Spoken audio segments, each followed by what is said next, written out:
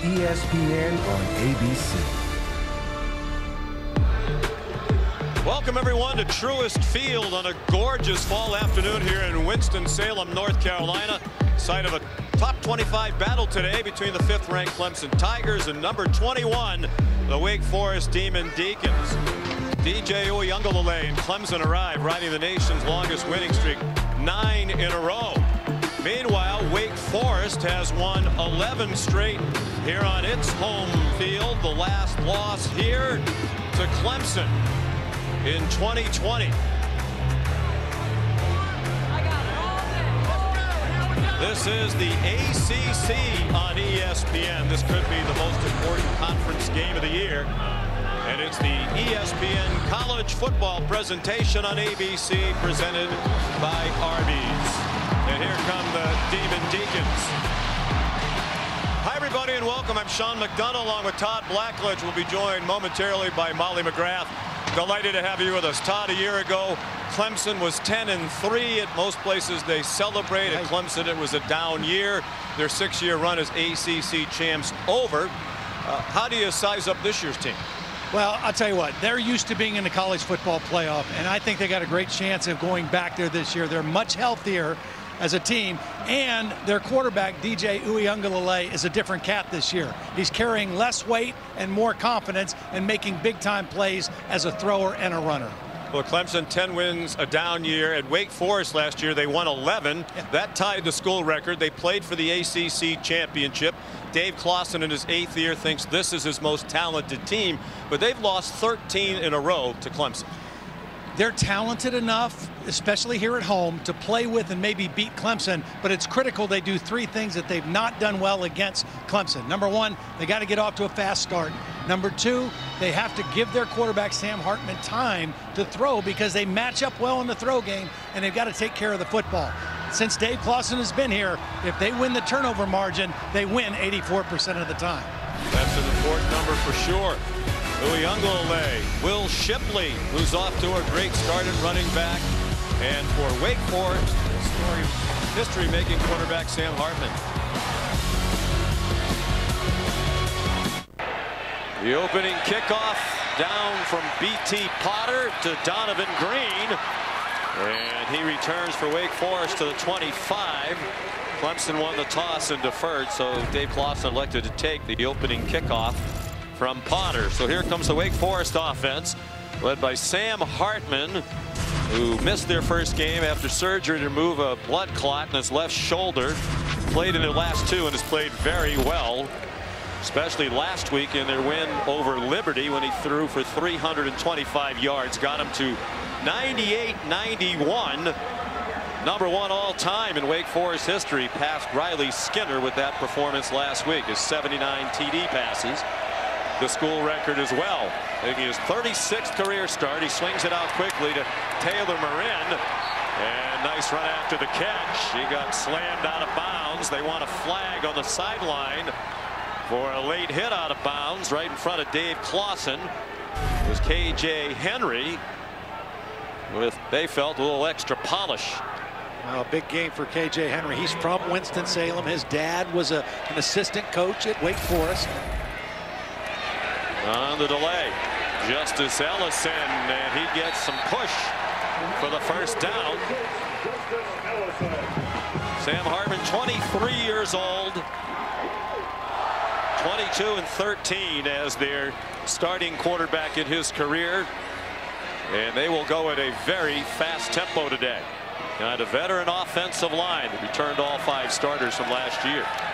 Hartman out of the flat.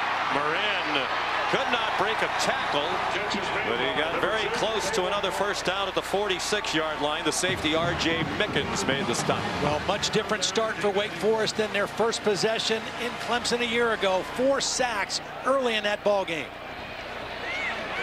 Ellison has the first down. Well, last year in that game, you've referenced Todd a couple of times. Wake Forest ran for only 36 yards on 31 carries. Warren Ruggiero, their offensive coordinator, said, we have to run the ball today. They will lean primarily on the passing game, particularly the deep throw, which they throw with regularity. Hartman Couldn't find an open receiver. Got a gain of about two, then got blasted by Trenton Simpson.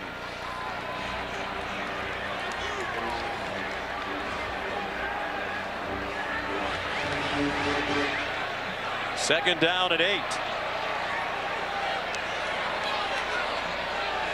Hartman starts the day needing 109 passing yards for 10,000 in his career. He'd be the ninth quarterback in the ACC to do that. Nothing doing on that run for Justice Ellison.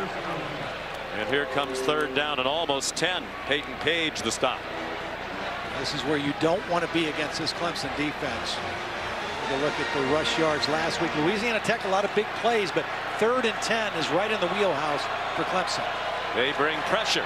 Hartman given some time, looking for the tight end, and it's batted around and incomplete. They have an excellent tight end in Blake Whiteheart. Crowd thought there was pass interference. R.J. Mickens had the coverage Trenton along Simpson, with Trenton yeah. Simpson. Simpson was right there and actually got a hand on the football. That's a tough throw to make in between two defenders. Credit Trenton Simpson for being in good position.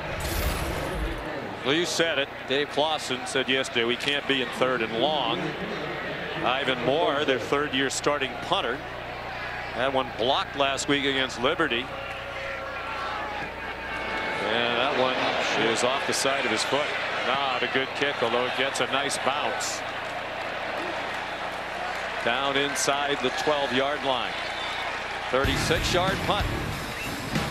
DJ Uiagalelei and the Clemson offense on the field when we come back.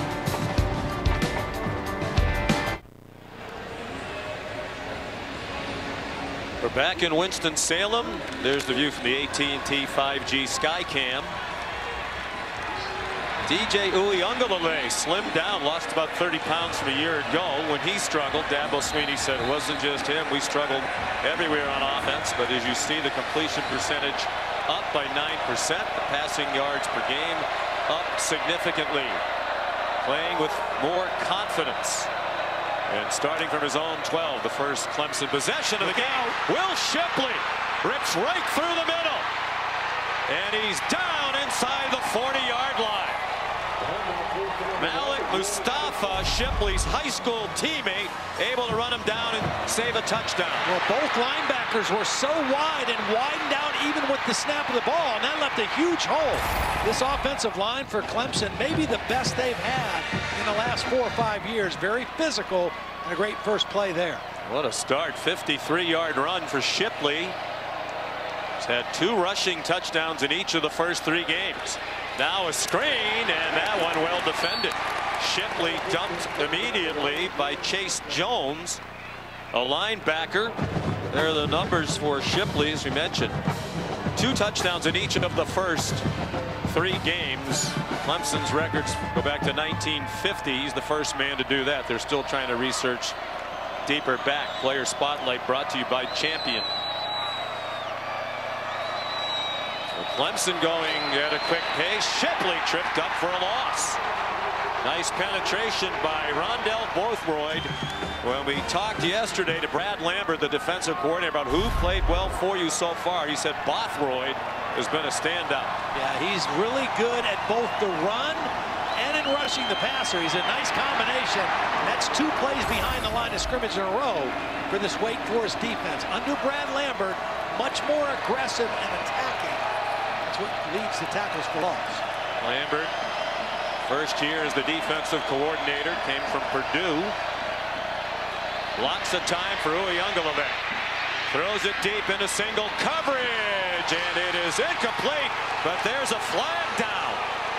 Joseph Ngata, the intended receiver, and Gavin Holmes had the coverage. Jeff Heiser is the referee leading this ACC crew. Gavin Holmes is a talented guy, but there you see the grab on Ngata. Now, last week, Liberty went after him early, and they got two defensive pass interference penalties in a row on him. And Clemson, on their first third down play, does the same thing. Goes after Gavin Holmes and draws the DPI. And that surprised Dave Clawson last week. As Holmes had been outstanding in the first two games, but Liberty clearly went after him.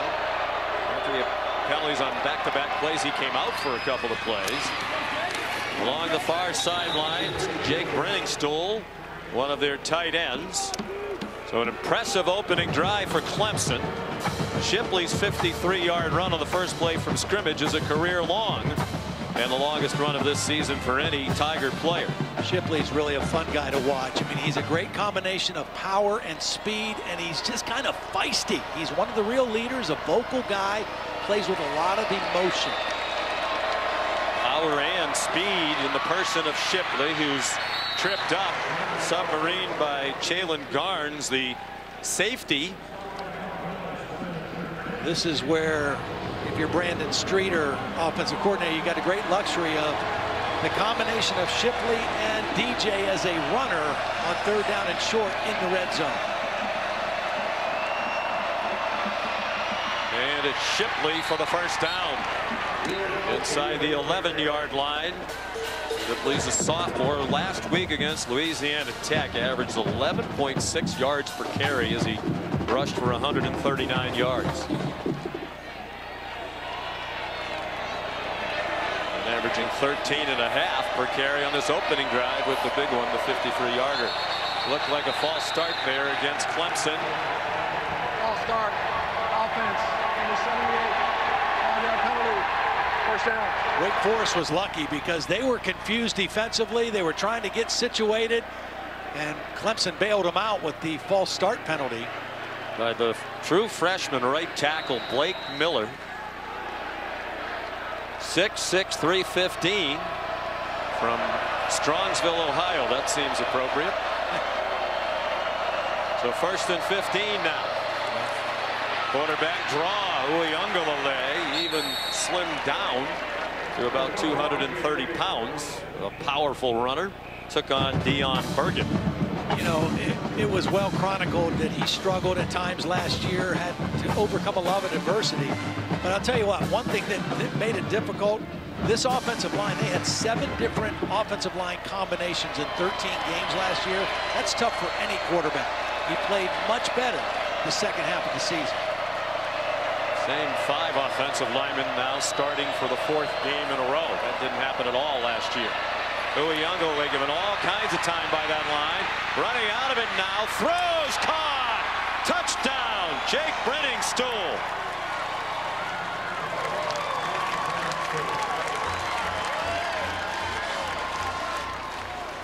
This is just a really nice job of DJ not panicking.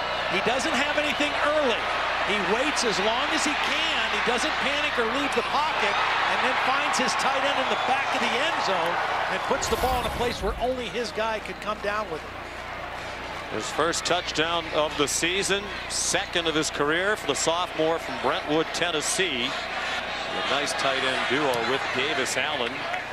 BT Potter the extra point. And Clemson off to a 7 to nothing lead. Molly on what has been a very emotional week for the Tiger football program. Yeah, Sean, it's been a difficult and life-altering week for Clemson defensive tackle Bryan Bresee and his family after his 15-year-old sister Ella lost her 18-month battle against brain cancer on September 15th. Ella was and still is an inspiration to the entire Clemson community. She spoke with the team just days before her passing, and Coach Dabo Swinney said her strength and joy for life changed this group of young men. And on Tuesday, with teammates and coaches by his side, Bresee and his family laid Ella to rest during her funeral in Maryland. This unwavering support is why Bryan Bresee felt comfortable returning to the football field so quickly after his sister's death. And the entire Bresee family is in attendance today. They shared an embrace with Bryan before the game, and Ella's impact is everywhere today, and it's still felt by this community, Sean. Indeed it is. Pre-game today, parents Rich and Megan, sisters Kendall and Bailey here. Now, it's so tragic. You can't even imagine that with the family, but uh, the close family all here together, and the Clemson football family is a close family as well. This time it'll be a touchback on the kickoff by BT Potter. And Dabo Swinney spoke so passionately, eloquently at one of his press conferences earlier this week after they had been to the service on Tuesday about what a great example Ella set. Brave, optimistic, cherishing every day. And that's a message that he has tried to impart to his team. Yeah, and just the fact that you just you just never know. You know, you never know how many days you have, how much life you have. Live it to the fullest. Do the right thing. Treat people the right way. And, and Ella exemplified that, you know, and it's a lesson for all of us. And on first down, a loss. Taylor Morin dumped for a loss. Behind the line of scrimmage, Toriano Pride, a true freshman. They'll mark it at the line of scrimmage. Second and 10 for Sam Hartman, down seven to nothing. And an errant pass behind Jahmal Banks. Uh, he had two guys open there, and that time Sam Hartman just inaccurate with the football. His feet kind of got him in trouble. And once again now another third and long. And interesting, because of some injuries to the Clemson secondary, they're playing with three linebackers. And Hartman has time again, throws far side, caught, Looks like it's going to be short of the first down for A.T. Perry. It was close. I mean, it was close when he was first. Yeah, they're going to give him the 35-yard line yeah. and a first down. Wow. I think he made it past the sticks on the initial catch. Nice job coming back. Oh, that's no. close. That's really close. And yeah, they have to stop this one. Being on the field was a first down. That play was under further review. Dabo Swinney had that right in front of him on the far sideline. They'll come over, Jeff Heiser, to speak with the replay official, Mike Shepard. We'll sort it out when we come back.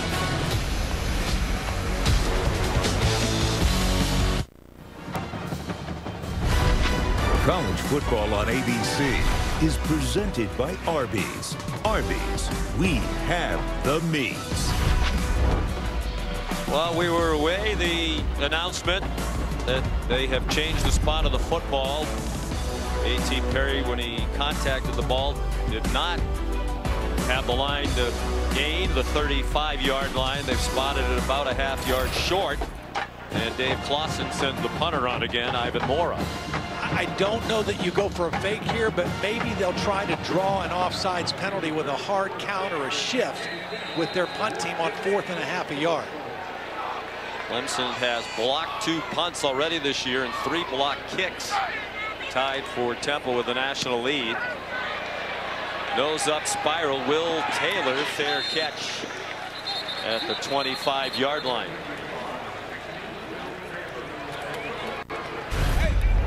Here's the first play from scrimmage. Todd set up the touchdown drive. Well, you see these linebackers widening out because they have to respect the running ability of the quarterback get a block at the point of attack, and then the speed of Shipley does the rest. Great way to start the offensive game for Clemson. Better field position this time. Shipley has happened in a big way. As their leading rusher last year as a freshman, more than 700 yards, and he missed three games due to injury. Quick slant after the play fake, and a diving catch made by Ngata for 15 yards and another first down. Well, you just see DJ looks so different. I mean, he is confident, he's decisive, and because of that, he's way more accurate than he was a year ago. Pick to Phil Mafah. The defender fell down, and so did the receiver. There is a flag thrown. There was contact apparently near midfield. Personal foul, face mask, offense, number eight. 15-yard penalty, first down. Adam Randall, the highly touted true freshman, was the intended receiver, and the penalties against him. Well, you're trying to get off of press coverage, and Randall did a little bit too much. Got his hand in the face mask. That's why the defender was on the ground. They both lost their balance, and the penalty goes against Clemson. Randall, the latest in a long line of top wide receiver recruits to come into Clemson. We've 11 receivers drafted since 2013, tied with Ohio State for the most. Swing pass, Davis Allen with flags down. He's dropped for a loss. Malik Mustafa, who's had a terrific start to this season, the sophomore from Charlotte and a transfer from Richmond. Holding. Offense, number zero. Second down. That's Antonio Williams, the other freshman receiver they're very high on. So back-to-back -back plays, the two touted freshmen with penalties. So far, Wake Forest doing a nice job defending those quick perimeter throws. And now a long yardage situation. If you're DJ, you're thinking just get some of this back on second down and a mile. Phil Mafah, the running back. DJ handed it off. And Mafah out to the 29-yard line. Tackled by Ryan Smenda and Chase Jones, veteran linebackers for Wake Forest. Third down, 21, 6-10 to go. Opening quarter. Clemson up 7 to nothing.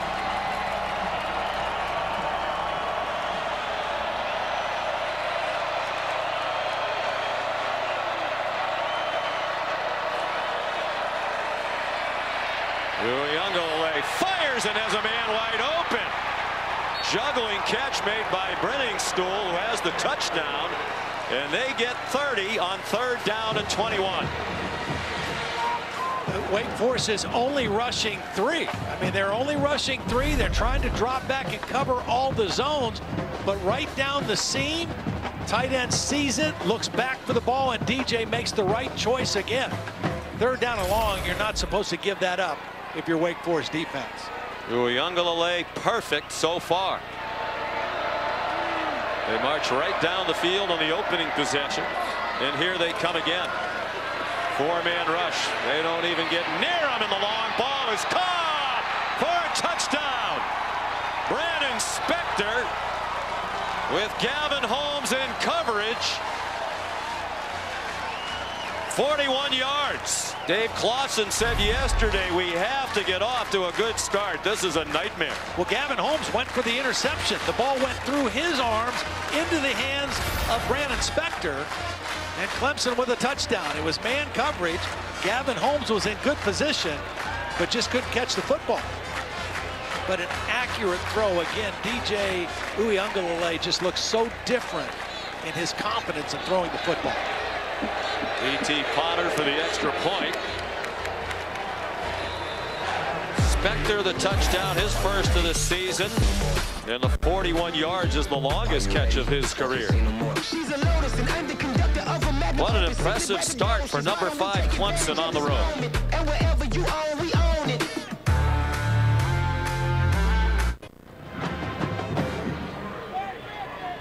Not only has Clemson won 13 in a row against Wake Forest, most of them haven't been close. Almost 28 points, the average margin of victory under Dave Clawson. Wake Forest is 0 8, and there hasn't been a game closer than 14 points. What a start for DJ Uiagalelei. Perfect. Seven for seven and two touchdowns. Potter's kickoff is a touchback. Here's Kevin Negandhi. Sean, good afternoon. Time now for a mayhem moment brought to you by Allstate to the big house. Maryland's Tai Felton got some issues on the opening kick here, Dan. Yeah, you got to get underneath it right there. Turns it over. Michigan, well, you want a fast start with your first big test of the year, and they got it. J.J. McCarthy, the Luke Schoonmaker, 7-0 Michigan, eight seconds in. Right now it's 7 to 3. Back to you. All right, Kevin, Coach Mullen. Here it's 40 to nothing. Clemson. The Tigers have already had three plays of longer than 30 yards. Wake hasn't had a play go longer than nine yards. They've punted twice. Sam Hartman launches it deep and incomplete. And there are flags down. Donavon Greene extended one arm. He had the true freshman Toriano Pride in single coverage. That was a late Pass grab. interference. Defense, number 23. 15-yard penalty, first down. The receiver had separation at the end of the route. Donavon Greene. Right there, he's got separation. And at the end, you're going to see a late grab on the right arm. And that withdrew the flag. Yesterday, when we talked to Wes Goodwin, he talked about these freshman corners he has. He likes them. He says they just can't panic when the ball's in the air. That's what happened right there. They will take a number of deep shots. Here's a wide receiver screen. Keyshawn Williams Upended by R.J. Mickens. Well, they have some injuries today in the secondary for the new coordinator, Wes Goodwin. Pride, Covil, Lukus thrust into action today with Andrew Mukuba out, Malcolm Greene, They're starting nickel, not playing. The ball is out, and it goes out of bounds. Ellison was the ball carrier. They'll send it back to the oh, oh. spot of the fumble, which is very near the first down marker. Well, we've already seen Trenton Simpson put his impact on the game. Very powerful outside linebacker, strips the ball. Wake Forest lucky to maintain possession, still third down and short. When we talked to Dave Clawson yesterday, he raved about Simpson. Said Clemson about as good as they've ever been in the defensive line. Perhaps not as good as they've been, or at least not as experienced in the back seven. But Simpson is a standout. Look at this defensive formation. On third and short, the run fake. Pete throw, and they grab A.T. Perry. That defense, young in the secondary, not Fred Davis, fooled by the fake. Deshaun Clemson, look, all 11 defenders are right here. They're expecting run.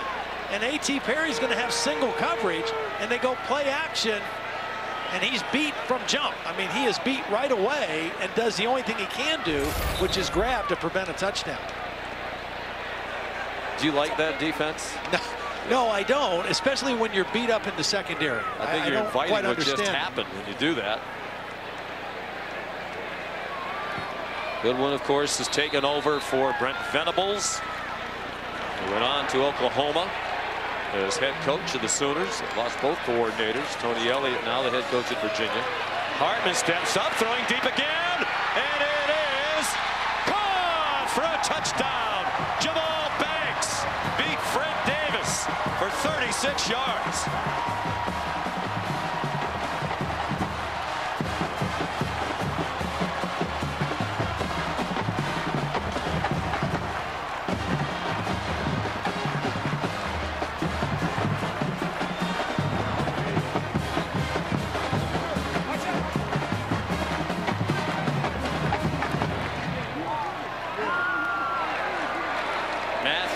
For the extra point. First year starting place kicker. He hasn't missed anything yet. Zach Murphy, the holder. One of the unique things about this offense, they call it the slow mesh. Watch the back and the quarterback. They're going to go right to the line of scrimmage. And at the last minute, Hartman will pull the ball out. But watch the back help right there on Bryan Ryan Bresee. And that allows Hartman to have enough time to get the ball down the field to his best contested catch guy, Jahmal Banks. One-on-one -on -one coverage again. Banks excellent at going up and fighting for the football. But credit the back for helping on Bresee and Hartman just moving slightly in the pocket. But that slow mesh, it's a long fake. It's right by the line of scrimmage. You got to have some courage to stay in there and make the throw, and Hartman does. Dave Clawson said Sam Hartman needs help in protection, not just from the offensive line, but the running backs yep. and the tight ends. And that touchdown pass is the 80th of his career. He's now alone in seventh all-time in ACC history. Number one among Power Five quarterbacks, tied with Jared Doege of Troy with 80, most among active FBS quarterbacks and touchdown passes. The kickoff is the touchback. Here's Kevin. Sean, reminding you, week four, early windows, plenty of action over on ESPN right now. Auburn up 14 nothing against Mizzou. Iowa State Baylor through one quarter. They're tied up at seven apiece. Number one, Georgia up 9 3 against Kent State on the SEC Network Plus. ACC Network has Pitt doubling up Rhode Island. Want to remind you also, we'll have live look ins from Yankee Stadium when Aaron Judge is up the bat in pursuit of home run number 61. Back to Sean, Todd, and Molly. All right. All the baseball fandom keeping an eye on the historic season Aaron Judge is having. Kobe Pace, the ball carrier. Number two running back behind Will Shipley. he had 191 yards against Wake Forest and two touchdowns a year ago. They ran for 332 against Wake Forest a year ago at Clemson. Demon Deacons really haven't slowed them down at all. This time they do as Kobe Pace collided with his own man, it seemed. Jordan McFadden, the left tackle, and now Pace is still down on the turf.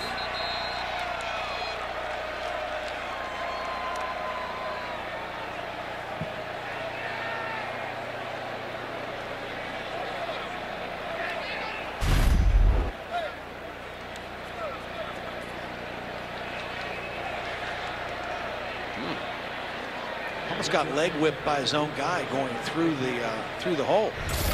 You wonder if it was the contact, because it didn't look like there was much, or if he just injured himself on the cut.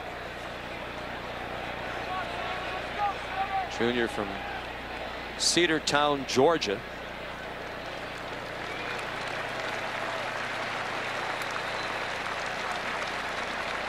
Good news is it doesn't look like he's walking all that gingerly as he heads off.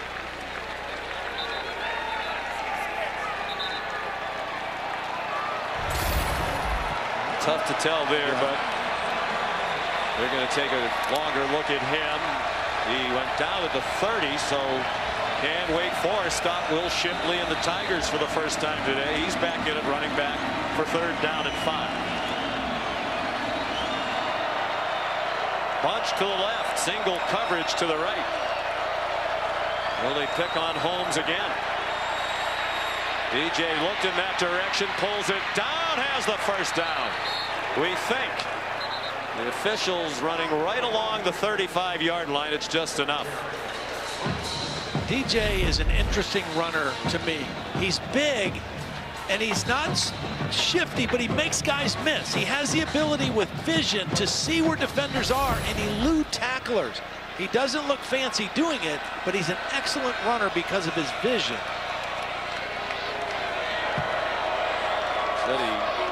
His diet significantly and eliminated sweets. He's a different looking human being. He throws long and it's incomplete. Good coverage along the near sideline by J.J. Roberts on E.J. Williams. Yeah, he just continued to ride Williams to the sideline. There was no place to put the football. That's the way you want a cornerback to do. If, if that receiver's not going to fight to stay in the field of play, just go ahead and run him right out.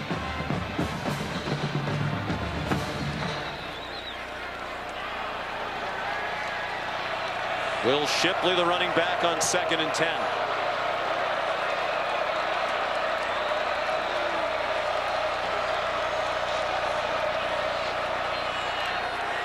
That's a backward pass, a lateral to Antonio Williams, chased down by Chase Jones, the junior from Warren, New Jersey, out of St. Peter's. Well, he talked to us yesterday. He said he lost 30 pounds, not just getting rid of sweets, portion control. Right. Said, I like to eat, don't we all? We know you do. Taste of the town upcoming. He looks he, he looks better and he's playing better and he's got a better and healthier supporting cast around him in front of him and on the outside too. He had a knee problem last year. He got rid of the brace. He said that's helped. He had a thumb injury last year. He throws and it is broken up intended for Spector. And double coverage there. J.J. Roberts there again for the Demon Deacon to force a punt for the first time today. Really nice job. Watch Roberts. He's going to be in zone coverage, and he's going to peel off his man with eyes on the quarterback and get a collision at the football. That's a good job by the corner reading the eyes of the quarterback and then helping out to the inside.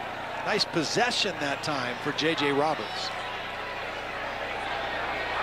Here's Aiden Swanson, their new punter, left-footed. Wobbly short kick. And a fair catch made by Taylor Morin after a 37-yard punt. College football primetime tonight right here on ABC. It's presented by Capital One.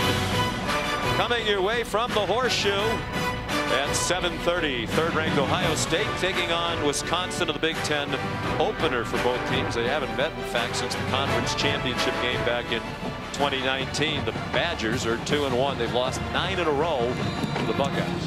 Yeah, that's, uh, that's a tall order in Columbus, stopping that offense. Jim Leonhard, one of the best defensive minds in college football. The Badgers always play great D, but it's a special offense. On the run, tough run by Christian Turner. This offense is so intriguing to me, Sean. Not only the slow mesh stuff for the passing game, but even in the running game. The back doesn't hit the hole right away. He kind of waits, he waits, he chops his feet, and they find holes as it opens. It's just a very unique system that Warren Ruggiero, Dave Clawson started it's given them a chance to be really competitive, but it's it's very unique. Christian Turner again. Clawson and said, we're not going to run for a bunch of yards. We're not going to run for 150 yards. We just have to run well enough to make them respect it to set up our passing game. Hartman too high off the hands of Morin on third down and six. So here comes Mora. Four possessions in the opening quarter for the Demon Deacons. This will be the third punt.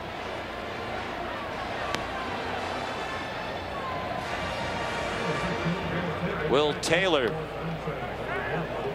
back for it. Sophomore. Two sport athlete, outfielder in baseball. He was a draft pick of the Texas Rangers.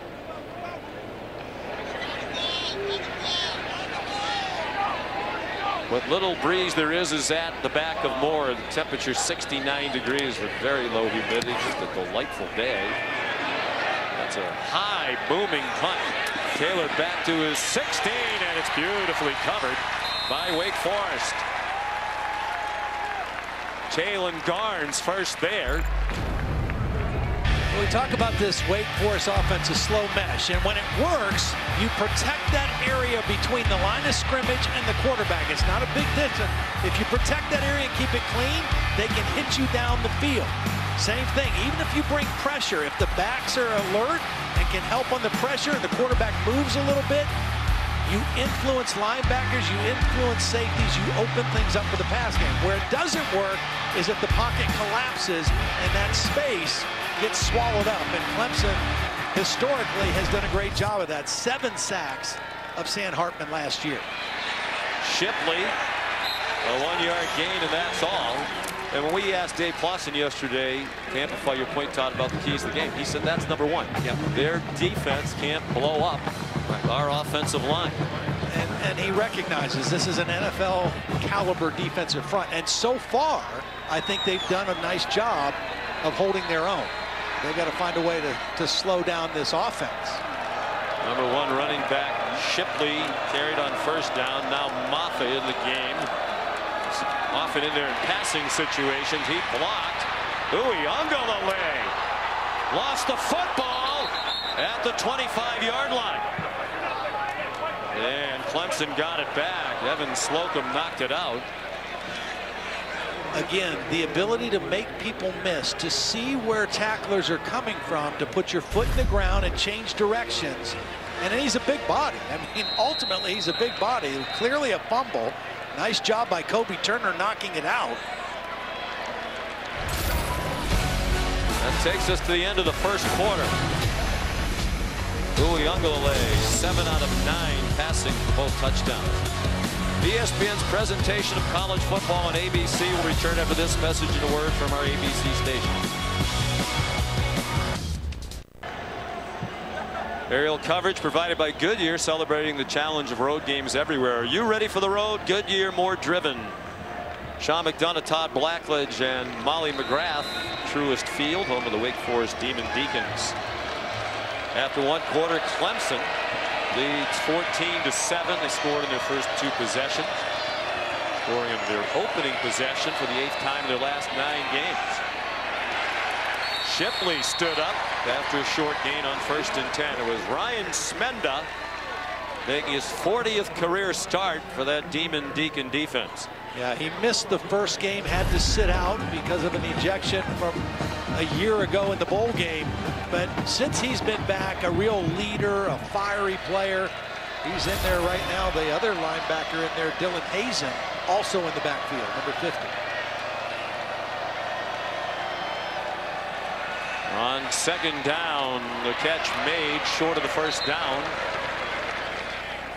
It's Bo Collins, about two yards shy of the line to gain. Molly.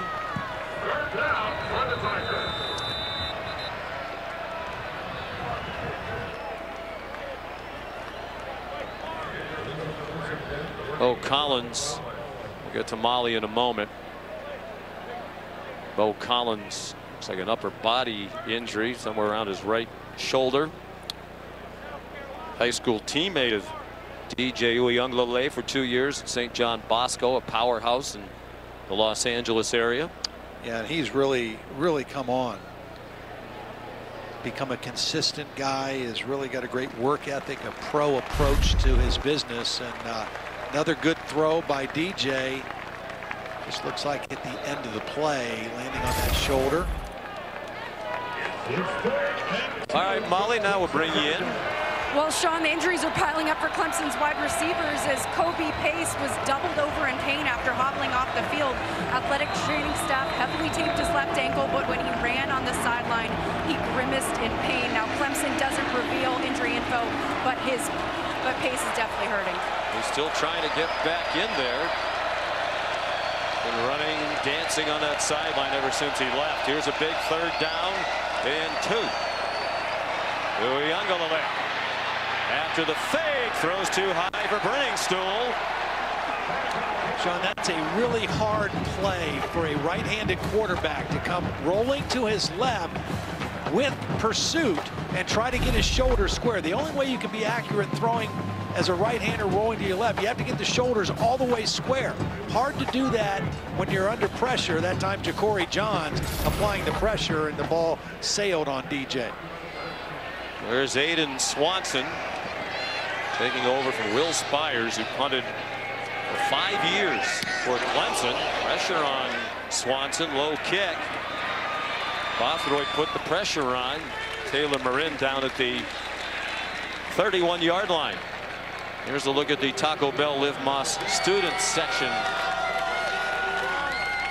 Student sections across the country competing to be the Liv Más student section of the year all season long. Sean, we talked about what do they have to do, Wake Forest, to be in a position to win the game. Fast start, protect their quarterback, win the turnovers. No turnovers for either team yet. They have protected Sam Hartman. They did not get off to a fast start, but they've drawn themselves back into the ball game now in a one-possession game. Reminiscent of last year when they struggled to start and down goes Hartman. Back at the 20-yard line. Tyler Davis back in action with a big sack. Yeah, Tyler Davis did not play last week. Watch this just quick inside move. He's going to beat the guard and just gets right to the quarterback. And when that pressure comes from the inside, it's very difficult. Sean Maginn, one of those veteran linemen. They're going to keep launching bombs. That one's too deep. Over the head of A.T. Perry. Dave Clawson says this is the best and deepest receiver group. He said one through five yeah. at wide receiver. We have a lot of talent, and that is a big feature of their offense. They're going to throw a lot of deep balls. They've got three really similar, big, rangy outside receivers, two really good slots, and a tight end who's a good receiver, number 85, Blake Whiteheart. Boyd in the left end of the defensive line for Clemson. Hartman running out of time, gets it off, incomplete. In the direction of Morin, K.J. Henry, who grew up around this stadium. Todd mentioned it earlier. His dad, Keith, was an assistant coach here for a decade. And is here wearing Clemson colors today. He was an assistant here under Jim Grobe. KJ used to come to practices. Said he had a yellow wig he used to wear yeah. to the games when he was a kid. We asked him if he had a picture of that, but I don't think he was trying that hard to find it. No. Well, yeah, that that that possession right there, Sean, that was the best pressure that they've had on Sam Hartman. A couple plays really got after him. Third three and out for the Wake Forest offense. A punt on fourth and 17. Taylor, fair catch, 35 yard line. Well, last year, Clemson had seven sacks when they were not ranked, and Wake Forest was up in Death Valley. Happy homecoming so far for Henry. Clemson leading 14 to 7. You're watching ESPN College Football on ABC, presented by Arby's.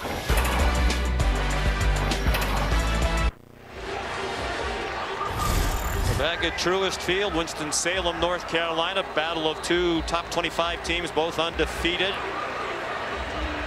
Two of the four ACC teams ranked in the top 25 this week. DJ Uiagalelei and Clemson leading 14 to 7.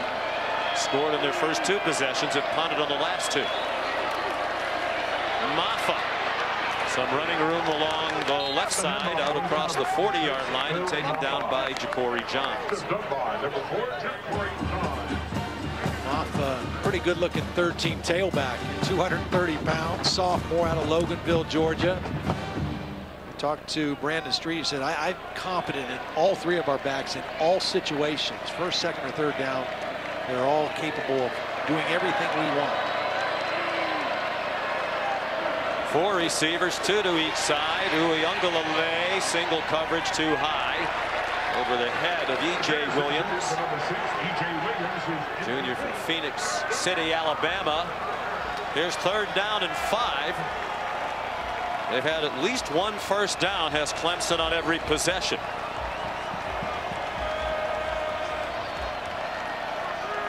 Feels like Dave Clawson's team has settled in and the crowd trying to do its part. The Briningstool, the tight end, has been a weapon on third down. This is him right here in the slot, now moving to the other side of the formation.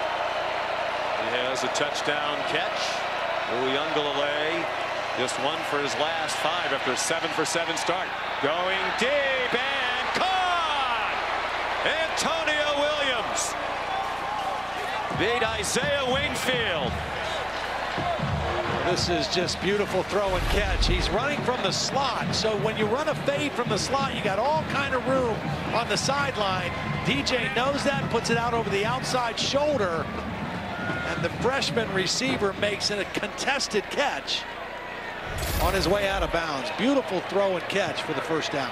39 yard play, their fourth of 30 plus. Williams out of Irmo, South Carolina. Top 100 player in the country nationally by just about all the rating services. Mafah wrapped up by A.J. Williams, a safety. See, he's in the slot. He gets separation right at the line of scrimmage, and he got all that sideline for DJ to put the football. When you throw it over the outside shoulder like that, almost impossible to defend.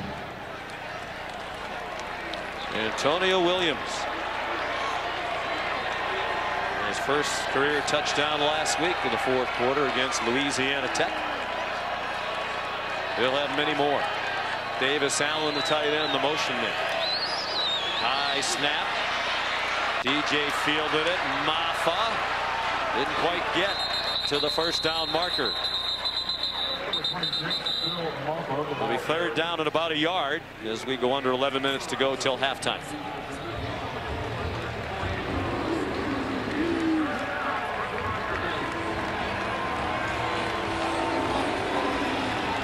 Shipley on the sideline just getting a rest it seems. C.J. Spiller, the running backs coach, they made a number of changes on the offensive side of the ball. One of the great players in Clemson history. Mafah, the running back this time. And we got just enough, it seems, for the first down. Inside the 11-yard line, banged down by Dylan Hazen. Redshirt freshman out of the Woodlands, Texas. If you judge the matchup, Todd, just based on recruiting, yeah, it's not even a matchup since 2018. 66 Clemson recruits have been in the ESPN top 300. Zero for Dave Clawson's team. They are a three and they hope four-star recruit program, mostly three stars, and then they develop them. That is a very strange freeze by Uiagalelei with nobody coming to help him execute the fake on his team. And Kobe Turner dropped him for a loss. If I had to guess, I would guess that the running back is the one who made a mistake there, Phil Mafah, not the quarterback. But yeah, when you don't fake to anybody, it doesn't fool the defense. And kind of a giveaway play there on first down for Clemson. Maybe DJ felt if he just stood there long enough, somebody was going to come help execute the fake. Their version of the slow mesh. Yes, extremely slow and invisible mesh. Better this time. Down to the nine goes Uiagalelei. Tackled by Kobe Turner. Transfer from Richmond, where he was three times All Colonial Athletic Association. And Coach Lambert was raving about him yesterday. It's a big play for Brad Lambert's defense right here. You got to hold Clemson to a field goal attempt give up another touchdown here at this point in the second quarter. Third down and goal from just inside the 10. Mafah remains the running back. Uiagalelei, pressure from behind, takes off running, and lunges for the pylon. I think he stepped out first at the three, and he did. Good effort, though, by Uiagalelei. Nothing open, good coverage in the end zone. And right there, yeah, clearly stepped out with his left foot before he extended the football. The progressive pylon cam. Left foot out. Wow, that's a great shot. That ball was heading right for the pylon, but that left foot was clearly out. Dabo Swinney still has the offense on the field, and he might let the clock run down and then take a timeout here. They gave him the two-yard line instead of the three. Originally, the official on the far sideline was standing on the three-yard line.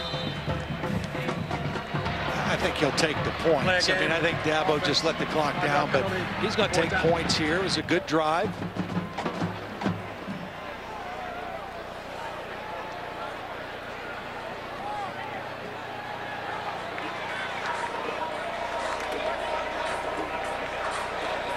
So here is BT Potter having an outstanding career and perfect this year. Four for four in field goals, one of the strongest legs in the country. They were happy when he came back for his last year. They thought he might leave for the NFL. Drew Swinney is the holder, the coach's son. His brother Will was the holder for the previous five years. I think they got a, another younger brother that's going to be a holder too, right? That's Play. The, might be a long tradition at Clemson of Swinney holders. Sixth straight year, Dabo's had one of his sons holding. Speaking of holding, Antonio Williams is being held, still took in that long pass to set up the field goal. Taste of the town when we come back. Your wallet. It's time for Todd's Taste of the Town, brought to you by DoorDash. Sweet Potatoes was opened in 2003 by partners Vivian Joyner and North Carolina-born chef Stephanie Tyson. They serve unique Southern-inspired uptown down-home cooking. What they have for me today, their signature appetizer basket of fried green tomatoes and fried okra, bone-in fried chicken made the way Stephanie's grandma Ora used to do it in a cast iron skillet with some fat back a side of potato salad and collard greens, and of course, some sweet potato cornbread. Sam Cooke said it right. Bring it on home to me. Yum, yum. Yo, really good. Really good. And here's another touchback. Here's Kevin Negandhi. Sean updating you, number one, Georgia 45-point favorites against Kent State in some trouble. Ladd McConkey, he's had a long day. A fumble here. Here comes Kent State. Yeah, good job by the corner, forcing the wide receiver back inside, forced a turnover. Okay, what's going on with the defense here? Defense just not getting the cornerback on the outside. Your help is coming from the inside, and Georgia uncharacteristically gives it up. Okay, Brock Bowers' second touchdown. It's great having a guy that's that fast, a tight end that can sprint to the edge and get the ball. 19 to 10, Sean. I am hungry after that video you showed us. Sam Hartman after the fake long pass flag down. It'll be pass interference on Nate Wiggins. That was great protect because Sam Hartman double clutch. Defense number 20, 15-yard penalty, first down. The protection was so long he was able to double clutch and then get the ball out there to Perry and clearly another pass interference penalty on the Clemson secondary. They'll keep attacking. If they can get protection, they're going to attack. From the 40, Hartman fires. Nice catch on a high throw. Keyshawn Williams got belted, but held on at the 47-yard line. Give us a, a, quick summary of sweet potatoes. Look great. Yeah, it did. I mean, it was comfort food, soul food, fried chicken as good as I've ever had. And I didn't bring you any food, but I brought you, I ordered you a cookbook. I ordered you one of their cookbooks because their, their restaurant is actually called Sweet Potatoes Well Shut My Mouth. So I got you a Well Shut My Mouth cookbook, and you can part of the segment. any way you and want. if I'm going to go along with this, but you don't eat when I bring you well, food I would all the have time. this See, week. you offended I, me last I did a week little by extra cardio this week, just to If you promise you'll eat, I'll bring you something. I will next time. definitely eat it next week, depending on what it is. Yeah, High throw There we go. through the hands of Keyshawn Williams. And a flag down. I wonder if they're going to look at a possible targeting or a late hit on this after the ball was clearly incomplete. Personal foul with targeting. Defense number 23. That play is under further review. Well, Toriano Pride, Dabo Swinney irate, and they're already thin in the secondary. This would be big. Ooh, if it stands, and we'll get Matt Austin's opinion when we come back. 17-7. Clemson has the lead. Well, now we're told we're going to skip the commercial because there's something going on with Aaron Judge, Kevin. Thank you. Reminder, Aaron Judge, one home run shy of 61. A live look in to Yankee Stadium with uh, Michael Kay on the call as we mentioned it.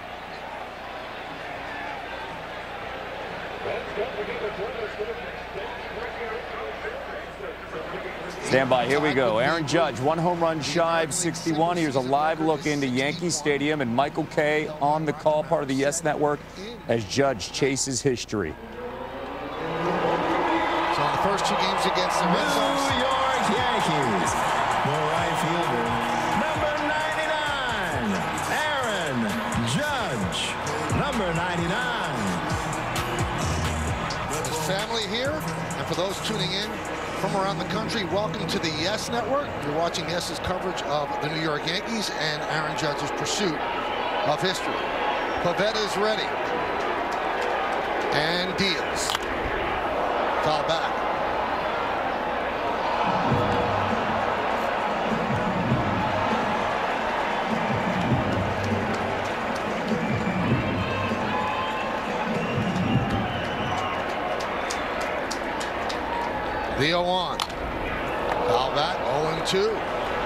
Pivetta going right at him. Uh, Coney, I would have dropped money on this and he'd come in and see two fastballs right off the bat. But you're right, Pivetta, right after Aaron Judge, trying to fool him here and actually throwing fastballs.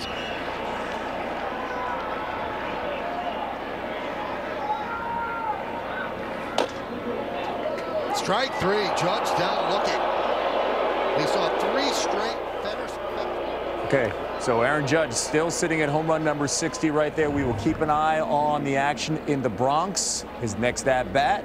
We promise we will have live look ins from the Bronx right now. Going to go to commercial break. Back to Clemson, Wake Forest after this.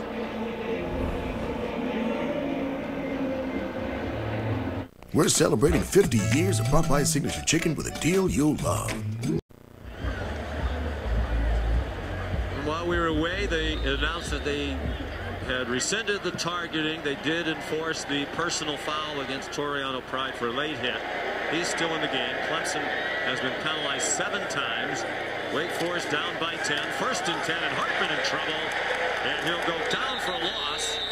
Back at the 35-yard line. Let's bring in Matt Austin. Matt, do you concur with the ruling? I, do. It was a good pickup of the flag for targeting because this hit, it's not a crowd of the helmet. He does go into the shoulder of the receiver, kind of a shoulder to shoulder. Face mask might have brushed his face mask, but again, that's not enough for targeting, so this was a good overturn. Here's Christian Turner. Nothing doing there. They still cannot run the ball against Clemson. They had 36 yards last year on 31 carries. They've rushed for four yards today. Well, you have to run a little bit to slow that pass rush down, but there's not a lot of effective holes there so far. Third and 13. They're on the edge of field goal range. Hartman got hit as he throws,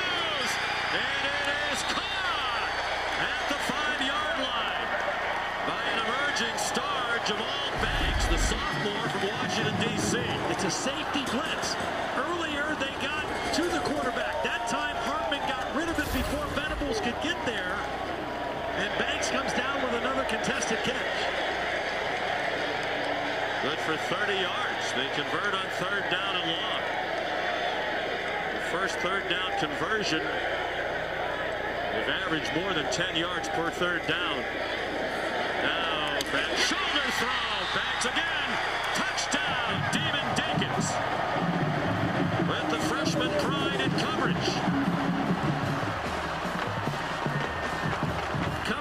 The season, Jahmal Banks was not a starter, but Dave Clawson insisted we have three starting outside receivers. He had a great camp.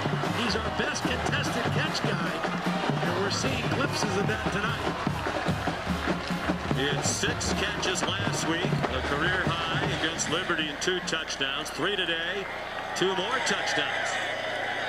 Wake Forest on the ropes early is now within three after the extra point by Matthew Dennis. Banks is 6'4", 208. He's up at the top of the screen in single coverage against a smaller defensive back, and Hartman keeps it in play and puts it in a position where he can use that big body. Perfect throw to the back shoulder.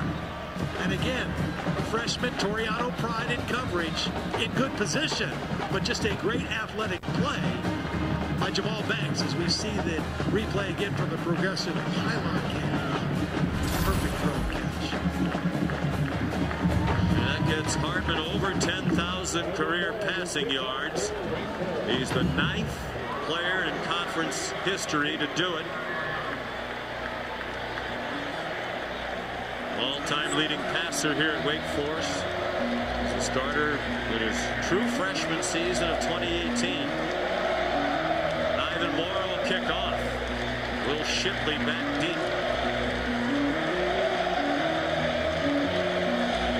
17-14 Clemson. It's a high, short kick into the wind. They didn't try to kick it deep. They didn't want to kick it to Shipley.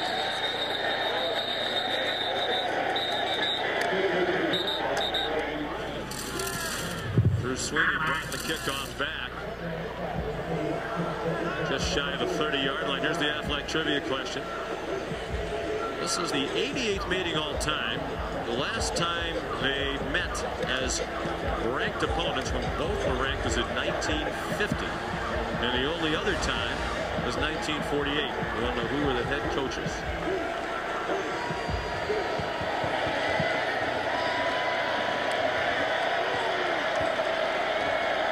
Rivalry dominated by Clemson. They're meeting for the 70th year in a row. After the catch. Do you want to hazard a guess? Frank Howard probably, right? Peahead? Would that be the, uh, the other guy? Well, let's see. Yeah, there it is. Frank Howard and Peahead Walker. Peahead's the only coach in history who won as many as four games against Clemson without a loss in Death Valley. His teams went 4-0. Peahead admitted that, that back there in the 40s during that run, Howard didn't have his full team. They were completed by the Warriors. Two legendary coaches. Will Shipley, the ball carrier. Walker, 7 and 4 at Wake against Howard, including a six game winning streak.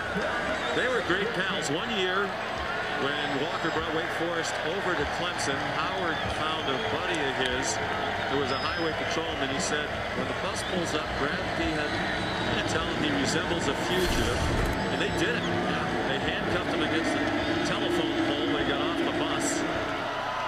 They asked one of Walker's players to vouch for him, and he said, I've never seen that man in his, my life. They had some chuckle, they let Peahead in on joke. They were very close friends. Will Shipley, the ball carrier, for a first down.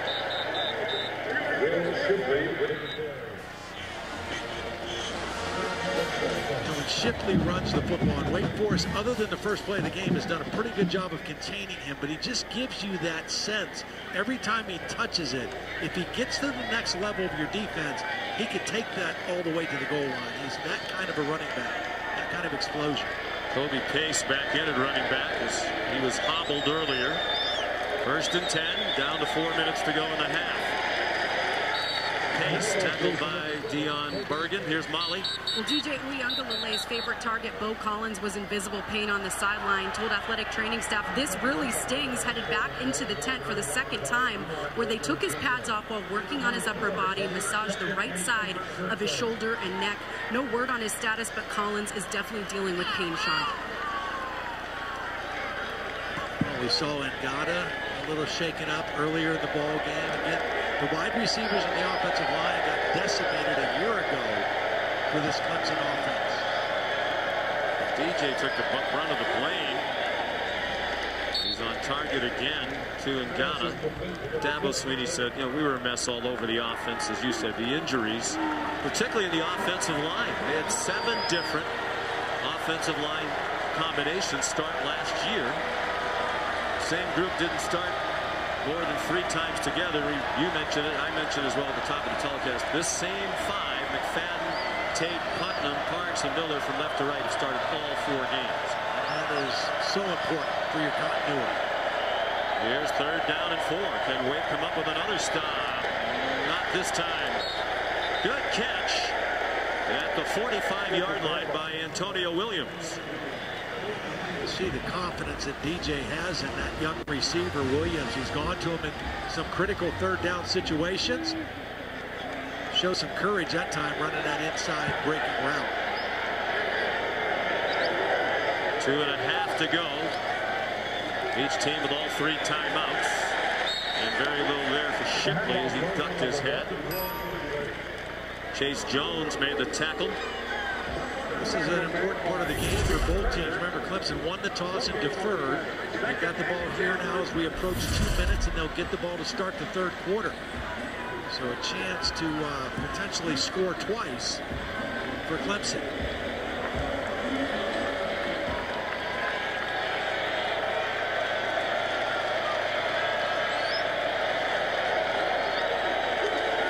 On second and nine, short set, batted pass, and it falls incomplete. They have not been able to get to DJ and knock him down, but they're able this time to just keep eyes on the quarterback. And when he releases it, get that hand up in the air and knock it away. Kedron Wayman back up defensive end.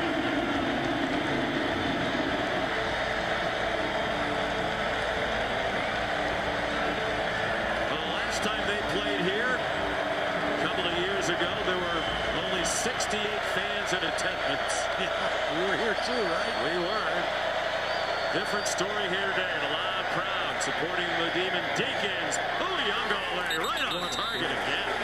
B.J. Williams, and they convert on third down. They have been good on third down. That was an area that they felt they really needed to get better. This is a long throw. This shows you the arm strength of Uiagalelei all the way to the left sideline and right on target. J.J. Robertson coverage. Should mention that Wake Forest, who tuned in late, playing without their Please starting reset corner, the game Kalen clock to 1 minute 42 seconds. 142. We spoke with Brad Lambert, the defensive coordinator, yesterday about Carson, and he acknowledged that he wasn't going to play with a hamstring injury. Uh, Lambert visibly winced. Yes, he did. Yeah. 42 seconds. He's just a youngster. He's just a sophomore, but he started last year as a freshman and played. There's Brad Lambert. Doesn't seem a lot happier right now. His second tour here in Wake Forest was here for a decade with Jim Grobe. Very happy to come back. His family loved it here. One time the head coach at Charlotte helped 49ers start their program. Under duress immediately, Uiagalelei throws it away. He was pursued by Kobie Turner and Kevin Pointer. Well, that's the first time that they were really able to get to the quarterback and knock him down. Good quick pressure initially by Pointer. And then you see Kobie Turner there to finish it off. But that's what Wake Forest needs. They need to get more pressure on DJ Uiagalelei, especially on third down. You mentioned earlier, under Lambert, they wanted more of an attacking defense. Let their defensive linemen cut loose rather than just try to stay in gaps and hold up blockers. Here's Davis Allen, lots of running room. He goes up and over and has the first down of the 19. Hit by Jalen guards. I guess if you're tight end, you can't leap over somebody. You're not an athlete in today's college football. well, he does, and somehow he got lost by the Wake Forest coverage. He came in motion and slipped right out into the flat. He was uncovered. He's going second down for the first down conversion. And 312 yards of offense in the half. Big sequence here for Wake Forest. Hold it to a field goal attempt. On the slant. Pass deflected.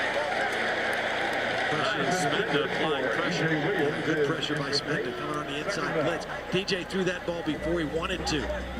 Did a nice job just getting rid of it, but he was not able to set his feet and make an accurate throw. He had the coverage he wanted, but he couldn't get the ball off.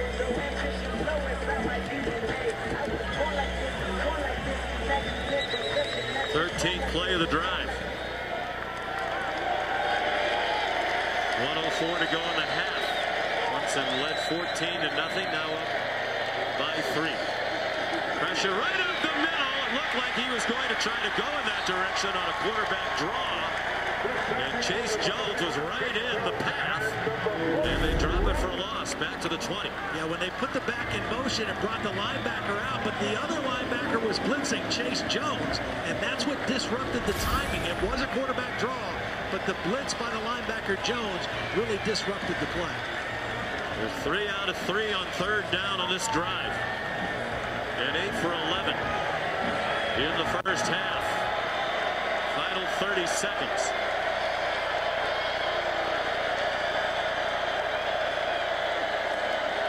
Uiagalelei miscommunication with his receiver.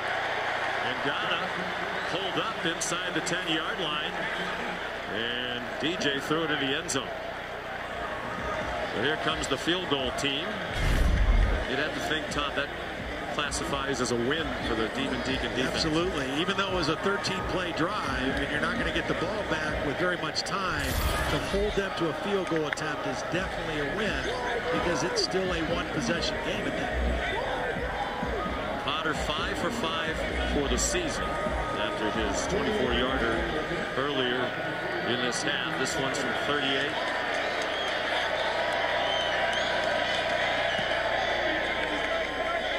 good. With 14 seconds to go. Last two red zone trips for Clemson and DJ Uiagalelei. They settle for two field goals. He's thrown for 192 in the half.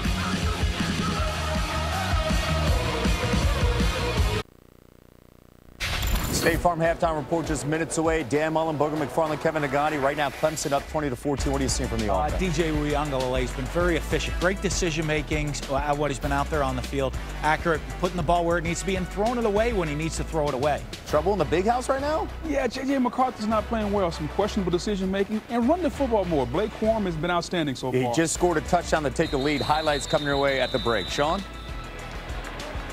All right, Kevin. B.T. Potter's kickoff and touchback, the 300th of his career. That's most in college football since 2000. Dave Clawson said, we're not even going to work on our kickoff return this week because we're not going to get a chance to return it. And they have had a couple come down near the goal line, have opted not to run them back. Well, if you're Dave Clawson, you've got to be pleased. The game did not start exactly the way you wanted it. You launch one here? Or? No, I think you run it. To launch it. That's going to help their rushing total. They're four yards rushing for the half. That one got six.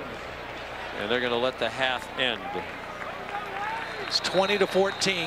Last year it was 17 to 3 at halftime, and then two turnovers in the third quarter, late or deep in their own territory, really turned the game. Right now, no turnovers in the game for either team, and a one-score ball game.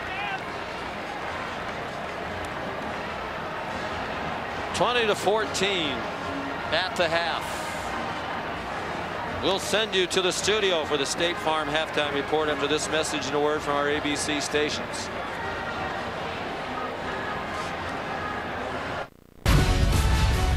This is the ACC on ESPN. Welcome back to ESPN's College Football on ABC presented by Arby's. Truist Field, Winston-Salem, North Carolina, two undefeated teams, an important game in the ACC. Clemson raced off to a 14 to nothing lead. Their lead now 20 to 14 as we get ready for the second half. Sean McDonough and Todd Blackledge. We talked to Brandon Streeter, the new offensive coordinator for Clemson during the week. He said the two priorities for improvement this season, red zone and third down. They've been excellent in both. Yeah, three for three in the red zone, although two times they had to settle for field goals, but that's every possession so far this season. Then on third down, eight for 12 today, and a couple of them some long yardage situations. DJ Uiagalelei, very accurate, knowing where he wanted to go with the football. For Wake Forest, we talked about the slow mesh offense. If they can protect the quarterback, they've got favorable matchups on the back end against this Clemson defense. Good protection. Hartman goes to Banks. They connected three times in the first half, two times for touchdowns. 309 total yards for Clemson, including that 8 out of 12 on third down. More of the same for Wake against Clemson. They just can't run the ball at all. Just 10 yards rushing on 11 carries.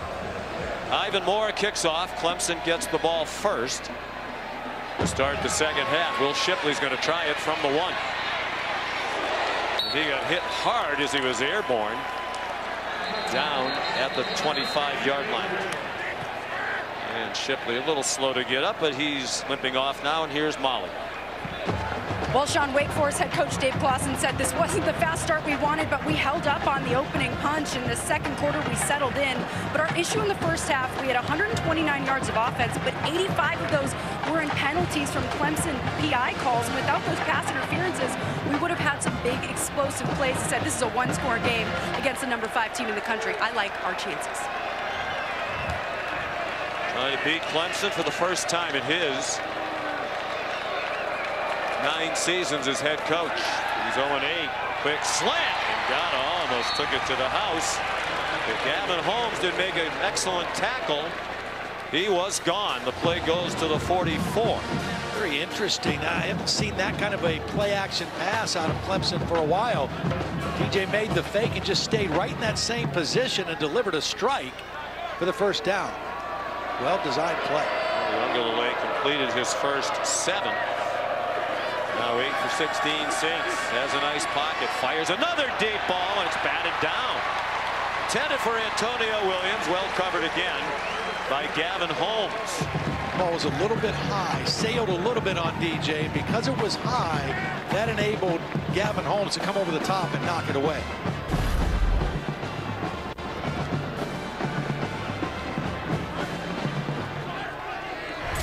Aggressive start here in the third quarter for Clemson.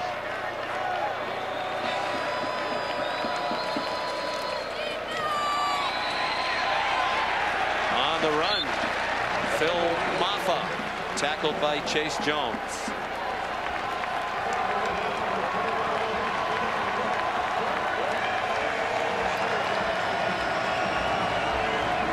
Third down and seven. A minute into the third quarter. The sun coming out now here in Winston-Salem on a mostly cloudy day. They're 8 for 12 on third down.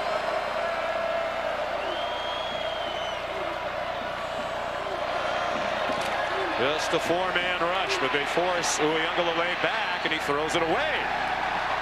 Pressured by Rondell Bothroyd, the redshirt junior from Manchester, Connecticut. Here's Kevin Negandhi. One home run shy of 61. We're getting set for a live look into Yankee Stadium right now. Red Sox up 3 to 2, bottom of the third, and Judge leading off in the inning. He's 0 for 1 so far in this game. Michael Kay, David Cone, Paul O'Neill on the call as we go live to the Bronx as Aaron Judge chases history.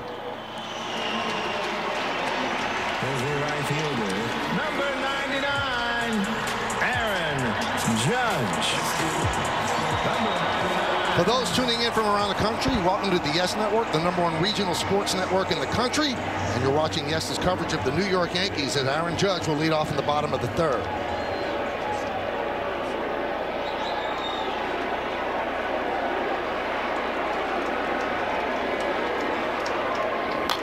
Foul back. Now the fastball.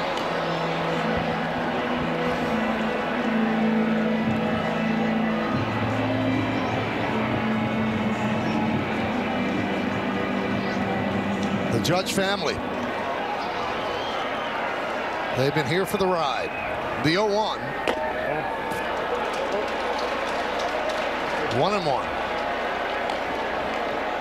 The Maris family has been here as well. They also said that if it doesn't happen here, they might go to Toronto.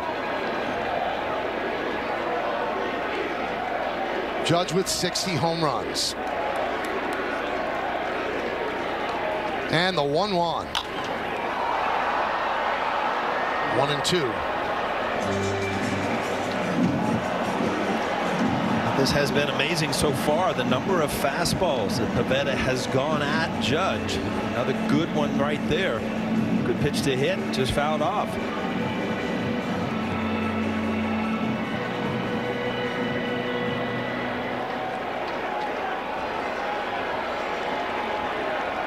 Pivetta deals the 1 2.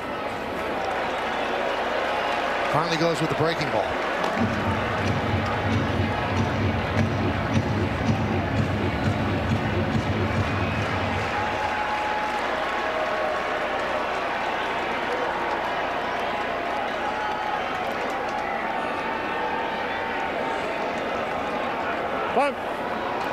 The way the crowd gets so silent right before the pitch is being delivered. There's a crescendo because he's judge, all rise when he comes to the plate, but then when the pitch is about to be delivered, this. High fly ball, center field. Almonte is there. And he puts it away for the first out. Okay, so right now he's 0 for 2, and we promise his third at bat we will take you there live. Reminding you, we've got Sunday Night Baseball. We have Aaron Judge and the Red Sox coming your way, as well as the K Rod broadcast on ESPN2. Back to Sean as Wake Forest takes the lead. Yeah, Kevin, in the game the people were tuning in to watch, Wake Forest has taken the lead on a touchdown pass to Donavon Greene. Nifty drive. They had three long plays of 20 yards plus. It starts with protection. Watch the back pick up the blitz. Hartman steps up and working on another freshman cornerback. That's Donovan Mitchell beating Jeadyn Lukus. And Wake Forest takes the lead.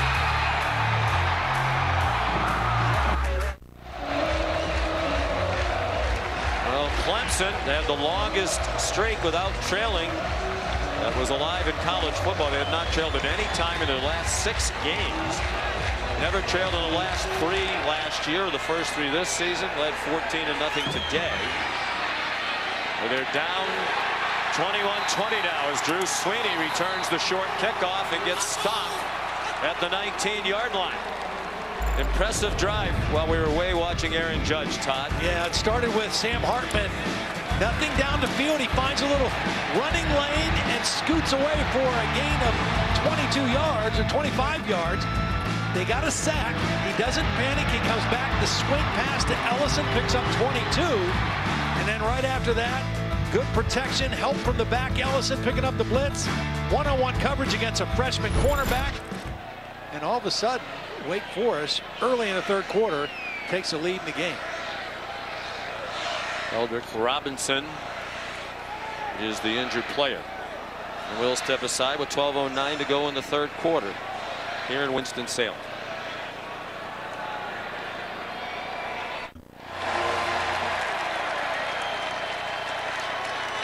Back in Winston-Salem, North Carolina, less than three minutes gone by, second half. Wake on the ropes early, down 14 and nothing, has rallied for a one-point lead against Clemson. Play the Tigers every year. They haven't beaten them since 2008. Will Shipley on first down, stopped immediately by Chase Jones. We just mentioned first time Clemson has trailed after six straight games without trailing. They've won 62 in a row when leading at halftime. The last loss when leading at the half, and there's a long way to go in this one, was November 12, 2016. They lost at home to Pittsburgh. And that was also the last home loss for Clemson. Uiagalelei. Rumbles for a couple. Deshane Davis there. There's a different pep in the step in this Wake Forest defense, too. You know, Molly, when he talked, she talked to Dave Clawson, he said, we settled down in the second quarter.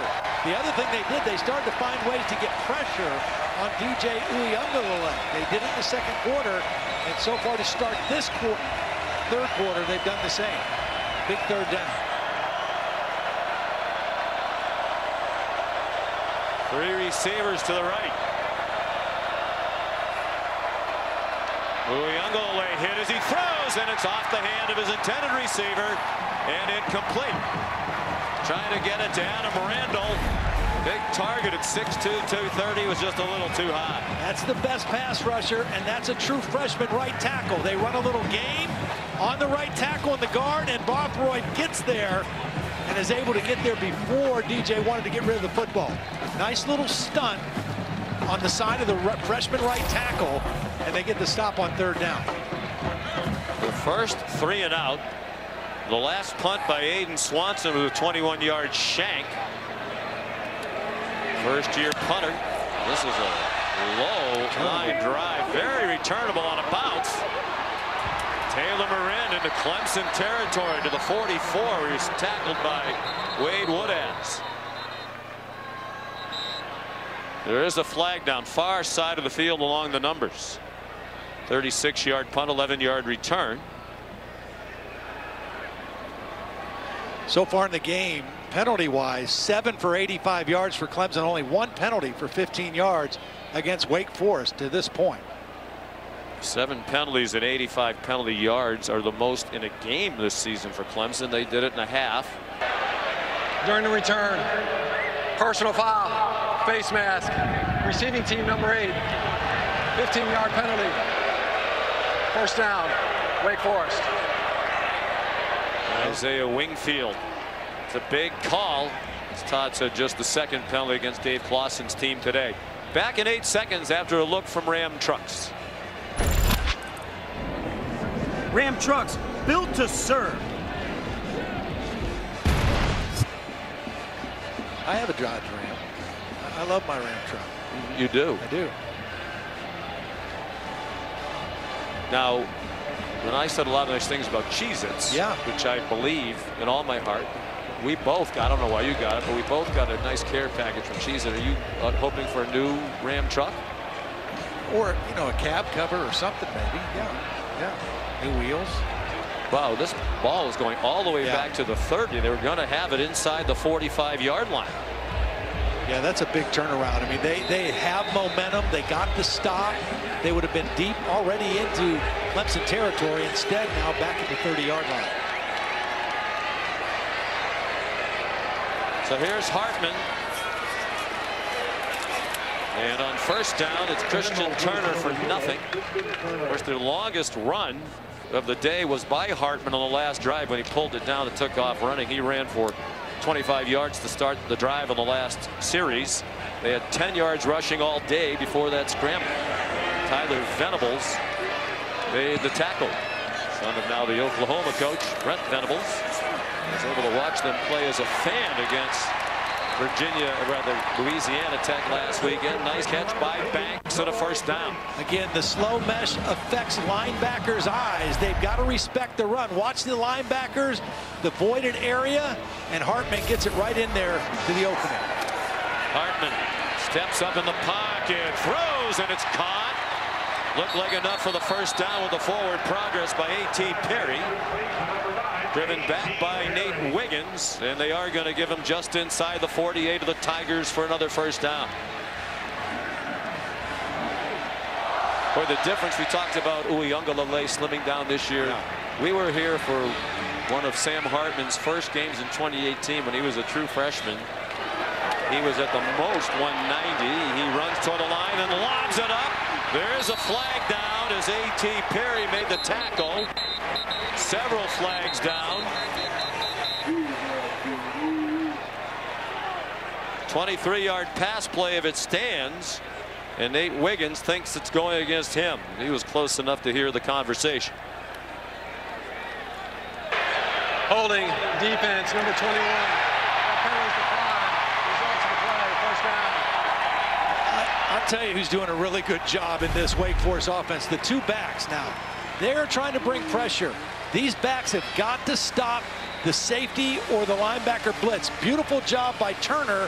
Hartman's able to step up a little bit, and he gets the one-on-one -on -one coverage. The holding is on Nate Wiggins on the outside. Didn't matter. Still a beautiful throw by Hartman. Who's completed now eight in a row as that one's caught. Dancing around Keyshawn Williams. Hartman throws a block for him. There are flags down to the middle of the field. Hartman lost his helmet. Dave Clawson was talking about the development of Hartman over the years, not just stronger, which is the point I was going to make a moment ago. He's added about 25 pounds in the weight room. But he's become much more of a leader, and the players notice when a guy had surgery to remove a blood clot. Personal foul, illegal blindside block, offense, number 59, 15-yard penalty, first down. In August is out there blocking ahead of the play, yeah. he's done that several times this year.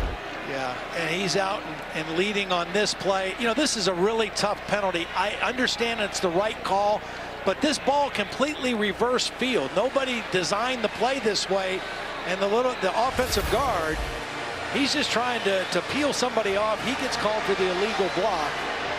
Because he lost the helmet, here's Mitch Griffiths in for probably one snap. He started their opener against VMI, and led them to victory. He's going to sling it deep like everybody else. And there's a flag. A.T. Perry just got ripped down. By the face mask, I think. Yes, indeed. It looked that way from here by Nate Wiggins. And if who's under duress. Sean, if Griffiths throws this ball more to the middle, it's an easy touchdown. The ball sailed behind the intended receiver. And when A.T. Perry stopped to go back for the ball, that's where the penalty occurred. Watch, he's got single coverage. If he throws that ball more towards the goalpost, it's a touchdown. Well, he didn't exactly get a lot of time to warm no, up. You're right. But I mean, he's beat right now. Throw that ball to the goalpost. It's a touchdown in one play. Instead, pass interference and another first down. Fourth pass interference against Clemson of their eight penalties. Hartman back in. That slow mesh, and he sends Christian Turner on his way. See, that's a great run in this offense, right? And against a defense like this, you're not running it well, but runs like that make Clemson play honest. We talked to Wayne Ruggiero. He said, do you have a goal for running? He says, no, no goals. Just, just win. Whatever we have to do to win the football game, we're going to do. Uh-oh. Trouble on that handoff oh, and staying on his feet, lunging forward. Make it a gain of one. Christian Turner. See, the reason that Wake Forest is getting so much man coverage is because they're trying to find ways to pressure Sam Hartman. When you bring extra bodies in the rush, you have to play man, and Wake Forest is attacking. One third down conversion. This is much shorter. Back shoulder throw and a touchdown. Blake Whiteheart, the ball came out, but three officials had already signaled a touchdown.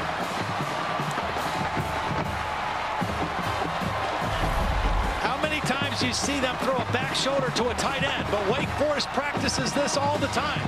Does he secure the ball all the way to the ground? I think he did. The ball came out late, catches it to the ground, and then after he rolls, the ball comes out. What a throw and catch by design against good coverage. And now it's Wake Forest with an eight-point lead. After the extra point by Matthew Dennis. Sam Hartman. What a courageous season he's having. Clemson is trying to bring pressure, trying to bring extra bodies. That leaves man coverage in the back end against the wideouts and against the tight end. He's working on Simpson. Sam Hartman, what a throw.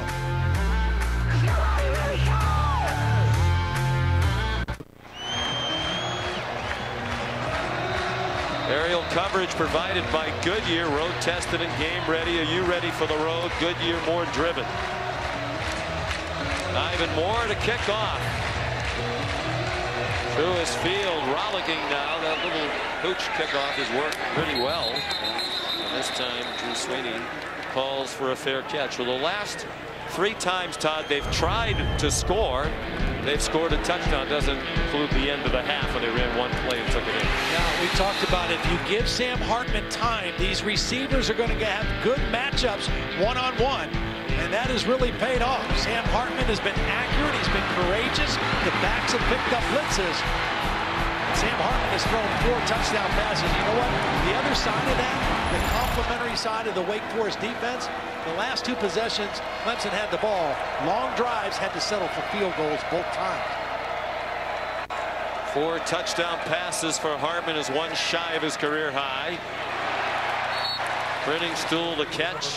He threw five last year in that wild game up at North Carolina. The ninth player in ACC history to be responsible for 100 touchdowns. 83 of them now passing. He's also rushed for 17. Four touchdown drives, all of 68 yards or longer.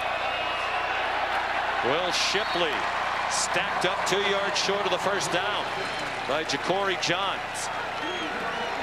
Think Brandon is going to need to have his quarterback run the football a little bit more here in the second half. They, they kind of stopped at the line. They're doing a good job against Will Shipley. Maybe not on this third down play, but some more designed runs for DJ Uiagalelei to get a little bit outside. Where they went up and down the field on their first two possessions to score touchdowns.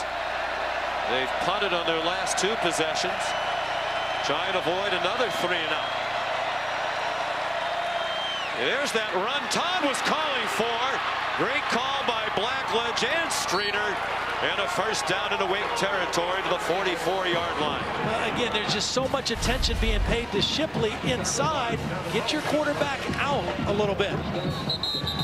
Nice job reading it. They go with Shipley to take the pitch away. And again, he's a big body who is a good runner. He's not a super shifty runner, but he's a very, very effective runner. And that was a big third down conversion. Gavin Holmes, starting cornerback, is injured. As we mentioned earlier, they're already playing without Caelan Carson, a starting corner, uh, with a hamstring injury.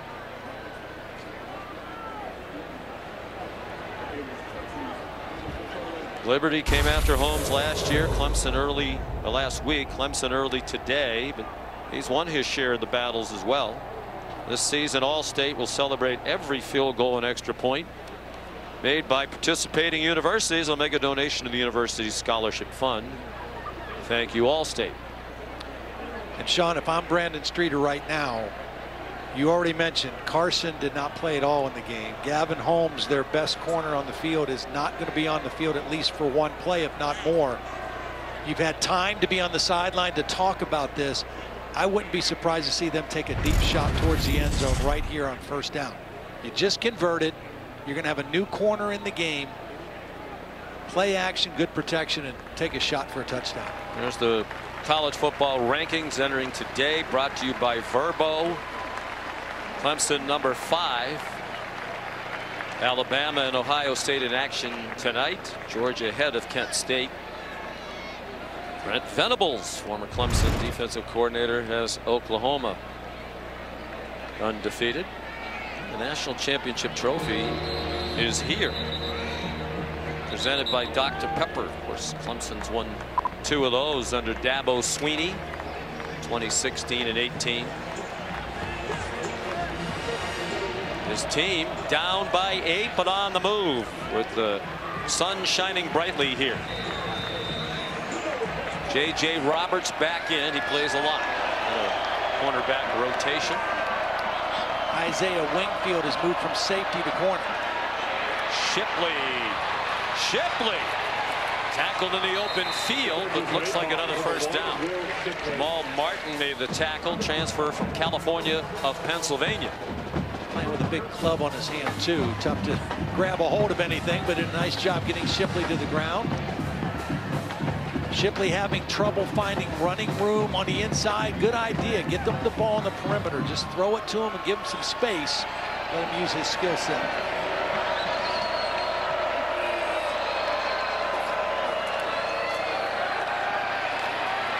Uiagalelei for the end zone. Incomplete. Looking for Joseph Ngata. Covered by Isaiah Wingfield. Isaiah Wingfield is the starting nickel in the ball game. With the injury to Gavin Holmes, they moved him outside to corner, and he's in good position. He had eyes on the quarterback the whole way and is able to slip inside, knock the ball away. Wingfield's a transfer from Harvard. Where he was first team All-Ivy last year. Just lost the whole season in 2020 when the Ivy League canceled play. Will Shipley, the running back, on second and 10. Give it to him again. He's open. Uiagalelei running out of time. Back dangerously across the middle and batted down. Lucky to get away with that. Flipped it in the general direction of Will Shipley, and it was Jamal Martin with that club able to bat it down. Yeah, right now, as you see Shipley go in motion, give him the football right here. Let Throw him the ball quickly and let him try to make somebody miss. DJ held on to it, tried to extend the play, and made kind of an ill-advised throw back towards the middle of the field. So third down and 10.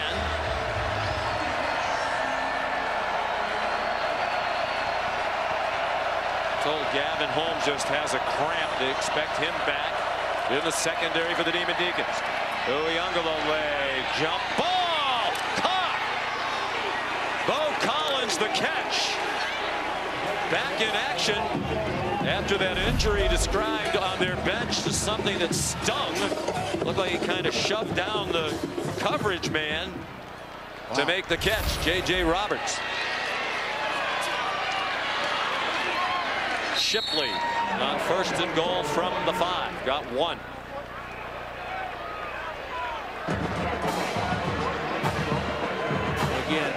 This is the area where I think you've got quarterback run. You, you really sell that fake to Shipley inside. You got the big body quarterback. Gavin Holmes back in the ball game now. Mel Martin out of the game. Line of scrimmage is the three, second and goal.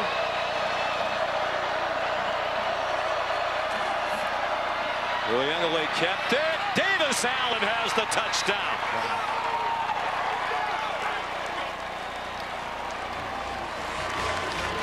Beautiful throw by DJ Uiagalelei. You throw this ball high. Here's Davis. He's just going to go. He's working against the safety, Mustafa. But you throw this ball high enough, and your tight end who bodies him up, he's the only guy can make that play. Perfect throw, nice touch by DJ for the touchdown. Clemson lining up to go for two. And tie it. Sometimes coaches will wait to the fourth quarter to do that. But not Dabo Swinney. Four and a half minutes to go. They put the ball on the left hash mark. And now timeout called by Clemson. First charge timeout. Clemson. 30 seconds.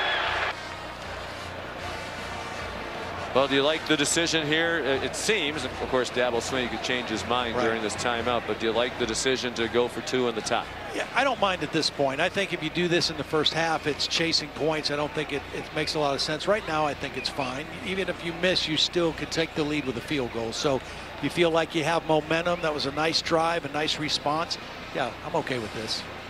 Have to give Wake Forest a lot of credit uh, for what they did early in the game, coming back from that 14 to nothing deficit. This is a pretty nice response absolutely. by DJ Uiagalelei on this drive. yeah, absolutely. I mean, you know, Wake Forest lost a couple players in that possession. Clemson took advantage of it. They they ran the football with the quarterback on a big third down play, and then DJ hit a couple of nice throws. So you're right, great response you feel like you got some momentum. Try to get two more and tie it up. We'll continue to monitor the Clemson-Wake Forest game in a two-box. That's on the left side and the right side. Aaron Judge, one home run shy of 61. A live look into Yankee Stadium. Let's go there with Michael Kay, David Cone, Paul O'Neill on the call around the country. Welcome to the Yes Network, the number one regional sports network in the country. And you are watching Yes's coverage of the New York Yankees and Aaron Judge. Judge 0 for 2, runner on first. Sitting at 60 home runs.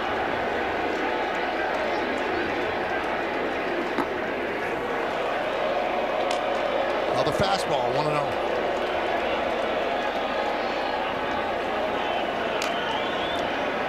They put new baseballs into play when Judge comes up, specially marked.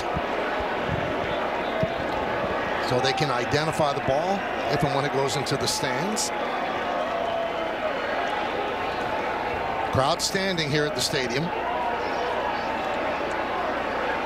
And holding its breath.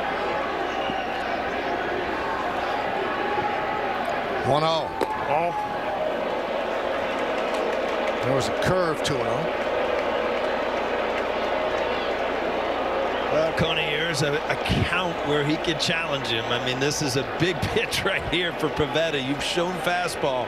Now in a fastball count, will you challenge Aaron Judge? And the 2-0. There's a strike. That was a slider.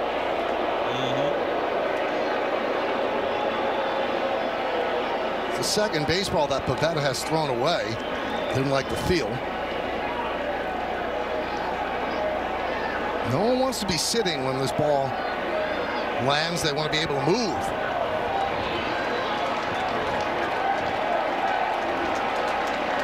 Now the silence before the pitch. The 2-1. 2 and 2. Judge has had, as Aaron Boone has said often, a season for the ages. Just a magical 2022. Flirting with a triple crown, flirting with the American League single season home run record.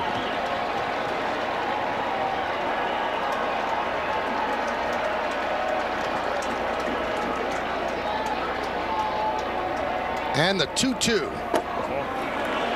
Three and two.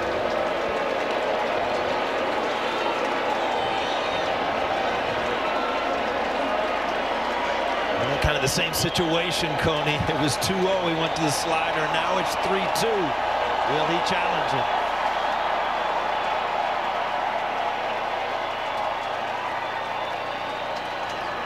And the 3-2 pitch. Foul back to the screen. He did challenge him. He did, and he challenged him outside the strike zone. Aaron Judge just underneath. That ball very hard with that slide uppercut to really square up, but a good swing. It's a pitch that Aaron Judge has gotten to a lot this year as opposed to years past as he continues to evolve as a great hitter, not just a great slugger. Runner on first, nobody out. 3-2 count on Judge. And Pivetta deals. Way outside, he walked him. So 0 for 2 and a walk right there, and we promise you we'll get them back to the Bronx the next time Aaron Judge is at the plate. Also, ESPN Sunday Night Baseball has the Yankees Red Sox tomorrow night. Back to a good one in Winston-Salem. Sean? And a great play, Kevin, by DJ Uiagalelei on the two-point try. They seemingly had him wrapped up to take him down and stop the play, and on one leg he threw to Beaux Collins to tie it. Meanwhile, Wake Forest is on the move again against the Clemson defense that suddenly can't stop them. There's been another pass interference play. Here's the two-point play. Remarkable, Todd. Yeah, just 6'4", 235, just standing his ground on one leg. Shows you the arm strength. Flicks it to the back of the end zone to his former high school teammate. And we got a tie ball game, and Wake Forest on the move again impressively. And they convert on third and short. Maybe, yes, it seems, on the lunge by Justice Ellison. Looked like they had him bottled up. Bryan Bresee made the tackle for Clemson, but not before Wake Forest got the first down. Yeah, it was a lunge and it was a push from a couple of his linemen that got him across the mark.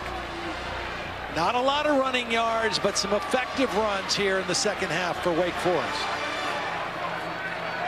For 43 yards rushing for the game, 25 by Hartman on one play, who's running for his life again. Gets belted as he throws, and it's incomplete. Intended for Jahmal Banks. Row, row delivered the hit. And it gets up, kind of squeezing his right hand a little bit. Took a hard shot from row, row, row. Uh, Trying to extend the play. Coverage right now by Clemson. They've gotten burnt on defensive pass interferences and on the deep plays. Look, off coverage, both corners playing more zone. It's actually Chief McGuire 30, not 33, who delivered the hit. Ellison runs, weaving through the traffic. He got 11 and a first down. See, this is about numbers. If you're trying to defend the pass, you run the football. The numbers say run, and Wake Forest with one of their best runs of the ball game because Clemson is afraid of the passing game of Sam Hartman.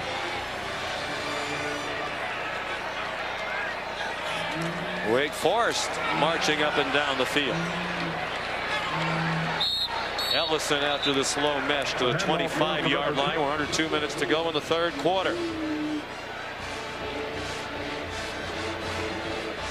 Thought it was interesting. Warren Ruggiero told us yesterday we are an attacking offense. We're aggressive. We know we're going to get sacked because we're going to take some shots down the field. We're going to hold the ball, but our good plays outweigh our bad plays, and that's been the case today. There's another long throw. Corner the end zone. Touchdown. Second of the day for Donavon Greene. Officials conferring now to make sure he was in. Nate Wiggins has had a tough quarter. Greene missed all of last year due to injury. These are his first touchdown grabs since 2020. Perfect placement, the foot down, the ball secured. That's a touchdown. You can't put the ball in a better place. He's got enough separation. He high points it. Wiggins does not know where the football is. Progressive pylon can shows the right foot down and the ball caught. And back and forth they go. The latest response by the Demon Deacons. Matthew Dennis the extra point. Four touchdowns in their last four possessions in which they were trying to score. No, not at all.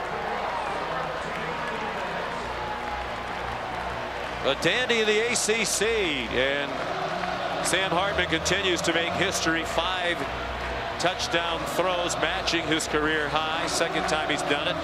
Did it at North Carolina last season. And they weren't lying about their receiver corps. Oh boy, they're good.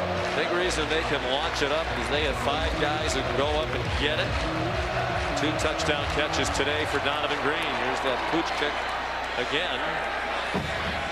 You know, Sean, there was evidence. There was evidence of some problems with that secondary last week. They gave up seven passes of 20 yards or more to Louisiana Tech. But they're not what they've been in the back end on defense. Clemson, a lot of losses on the roster. There's the last drive by Clemson that tied the game. Allen, the catch. And they went for two. And Uiagalelei might have lost 30 pounds, but he's still plenty big enough, strong enough, great enough balance to stay on one leg and fire to Beaux Collins. That tied it. They're down by seven now. And after the play fade, DJ under duress throws incomplete for Brannon Spector. Rondell Bothroyd had the immediate pressure.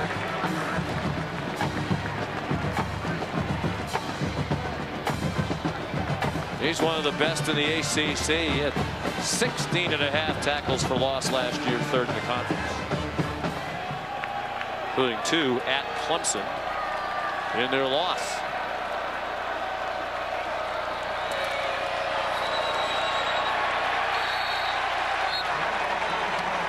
Year, Clemson ran for 332 yards against Wake Forest's defense. New defensive staff, two holdovers from the old staff, new coordinator in Brad Lambert, a little more aggressive approach.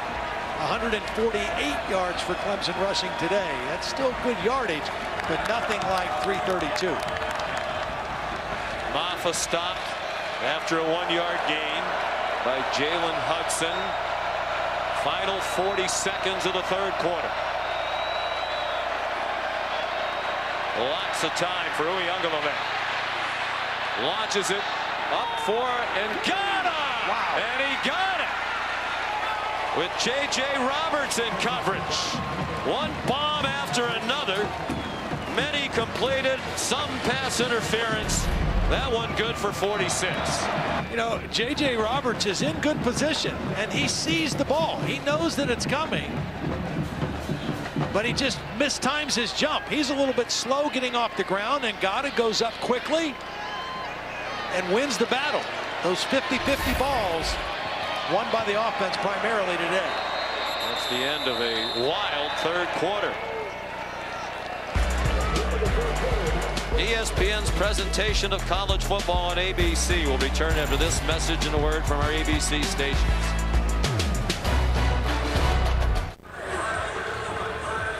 Now a back and forth game in Winston-Salem, and I'm told Wake Forest safety Malik Mustafa has a separated right shoulder. He was brought into the locker room for an injection and will try to play, but he is still in the locker room during this crucial Clemson drive, Sean.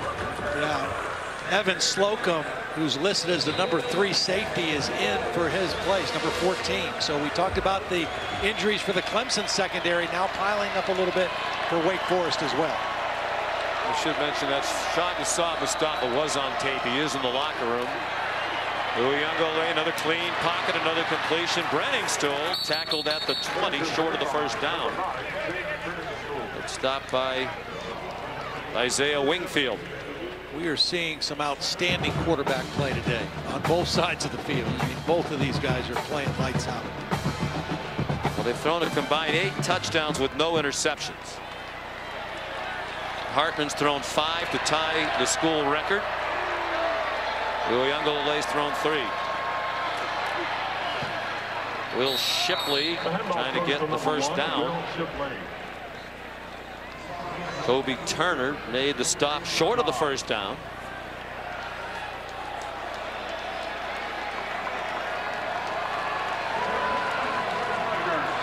Third down, less than a yard. Would think four down territory here. They bring in Luke Price, an extra tight end.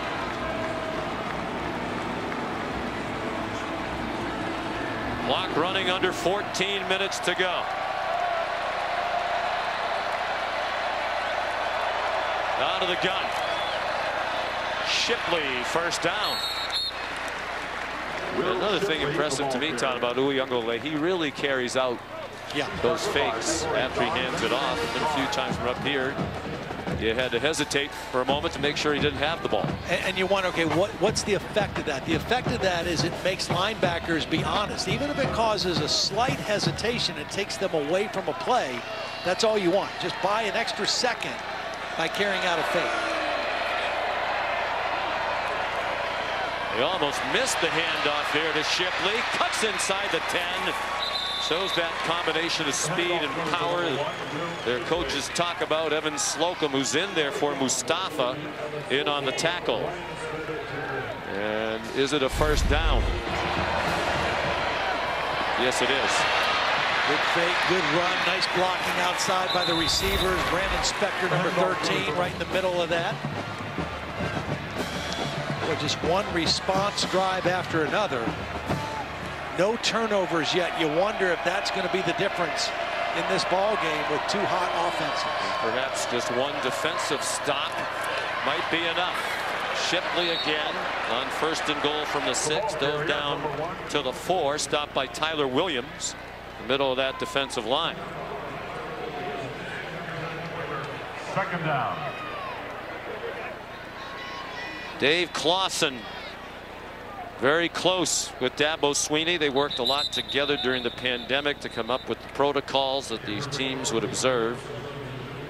Williams down on the field. Dabo Swinney said, I admire Dave Clawson as a football coach and as a man. Dave Clawson said, I feel the same way with Dabo, but he probably likes me because he's 8-0 against me.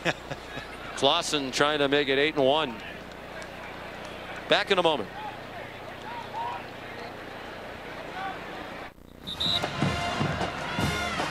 Aerial coverage provided by Goodyear, celebrating the challenge of road games everywhere. Are you ready for the road? Goodyear, more driven. Mustafa back out of the locker room with the shoulder injury, trying to get loose. Told the coaches he is ready to go back in. Second and goal, Clemson trying to tie it. From the four, Uiagalelei got banged down just shy of the goal line. Evan Slocum Mustafa's stand-in with a big hit on a stumbling Uiagalelei. Yeah, if he goes lower and goes for the legs, Uiagalelei is going to carry him into the end zone. But he hits him high and knocks him sideways, and that's why he comes up short of the goal line. Good hard tackle by Evan Slocum. Just 5'10", 190 pounds. Third down and goal. 11 and a half to go. Well, they call DJ again. Shipley on his right hip. Shipley stopped and then lunging for the goal line and gets there. Effort.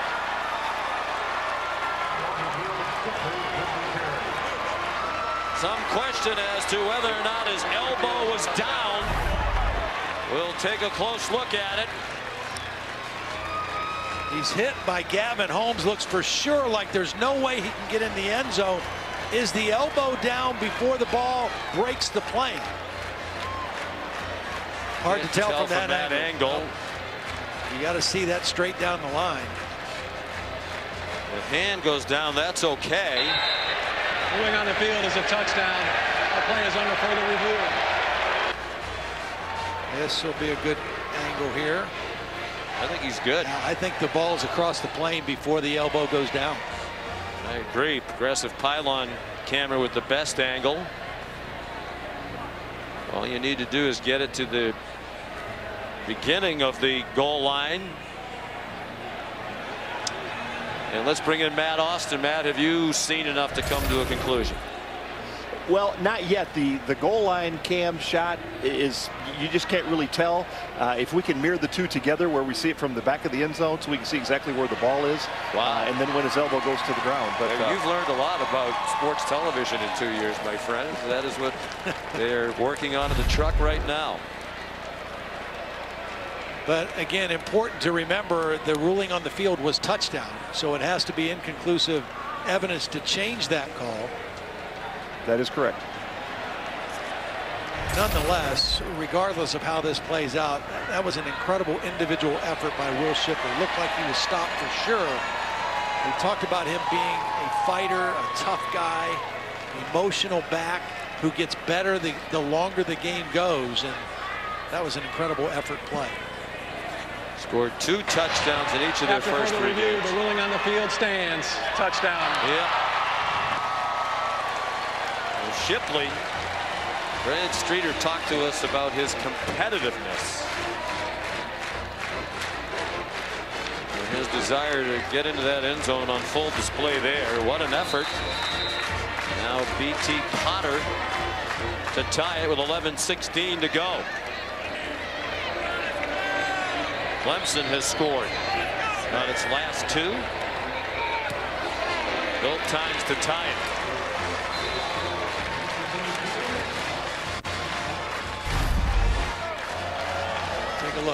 Give it to Shipley. He's going to bounce it outside. Right now, it looks like he might fall in, but the Gavin Holmes with a good high tackle. Trying to get an assist from Dylan Hazen. Chelen Garnes, the original contact yep. around the ankle. Then Holmes, he had help coming. Hazen, number 50, was a backup linebacker also in there. This was not going to be denied. Fun guy to watch. Oh my goodness. I'll tell you what, I kind of like his look now too with the beard and the mustache combination rather than just the little skinny mustache. I like the, I like that look better for Will Shipley. Tremendous strength there too. To be on one hand and propel yourself across the line. That's seven straight games now with a rushing touchdown started the day one off the national lead in touchdown runs, which was seven. Mohamed Ibrahim of Minnesota, Blake Corum of Michigan. End over end kick from BT Potter. Here's Kevin. Sean, thankfully we're not interrupting a touchdown. There's a four box here going on on ESPN. Auburn tied up at the moment with Mizzou 14 apiece. Baylor Right now with a 10-point lead against Iowa State. Number one, Georgia. They're taking it from Kent State. 22 points by the Golden Flashes. most given up by that defense. And of course, Mack Brown coming your way, 330, Boog. Oh, that's the look of success, and Miss Sally's good cooking right there. North Carolina, Notre Dame coming your way in less than 40 minutes. Back to you, Sean. All right, thank you guys. Here's Wake Forest now. And a good run on first down. With it long enough. Christian Turner got eight, tackled by Myles Murphy. Well, again, it's it's a numbers game. The reason there's more running room here in the second half is because Wake Forest has been burnt by the pass game and the pass interference. And it's a first down. Christian Turner skipping through the hole to the 38. Just joining us, Wake Forest has scored the last four possessions, touchdowns, the exception of the one play at the very end of the half. They let the clock run out. They have five touchdown drives, and four of them have been aided by defensive pass interference penalties. It's been a problem for Clemson today, and Wake Forest has just attacked downfield because of it. You either get the completion or you get a penalty. Those percentages are pretty good. You said it. Warren Ruggiero said, we'll take sacks, but we're going to make a lot of big plays down the field. Here's inside the 25-yard line. Fred Davis now looking around at some of his teammates as if to say, where's my help? It is a beleaguered secondary. Well, they look a little confused right there whether there was going to be help or not. It doesn't matter because Sam Hartman is on target. Both quarterbacks now over 300 yards passing. 46-yard play. Turner. Didn't get anything there. Single coverage beat right off the jump. It was press coverage and a perfect throw. Immediate separation. Good read by Sam Hartman. And another big catch by Jahmal Banks down the field. He has emerged as a star. Six catches matching his single game best in his career. He did that last week against Liberty. Is 141 yards, two touchdowns today. There's a hole for Christian Turner. And the desire to stick with the run paying off now for Wake Forest. Yep. Here's a huge third down. They had 10 yards rushing in the first half. They've had 63 here in the second half. Trying to break a 35 all tie with under nine minutes to go. Hartman toward the line, across the line, and down at the 11. And I would think with this much yardage to gain, they'll kick a field goal, and they will. Yep, yardage and time. You know, there's a lot of game left in this football game. Take the lead, keep the pressure on Clemson. Remember, Clemson's a high-ranked team coming into the game. Here's a brand new kicker, redshirt freshman Matthew Dennis. Took over from Nick Skiba, the most accurate field goal kicker in college football history. And he's improved on Skiba's numbers because he's perfect. Seven for seven, first try today from 29.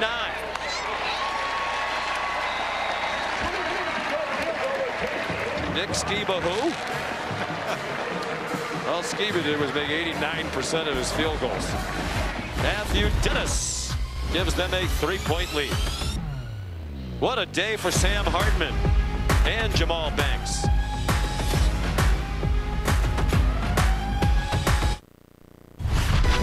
College football on ABC is presented by Arby's. Arby's, we have the meats.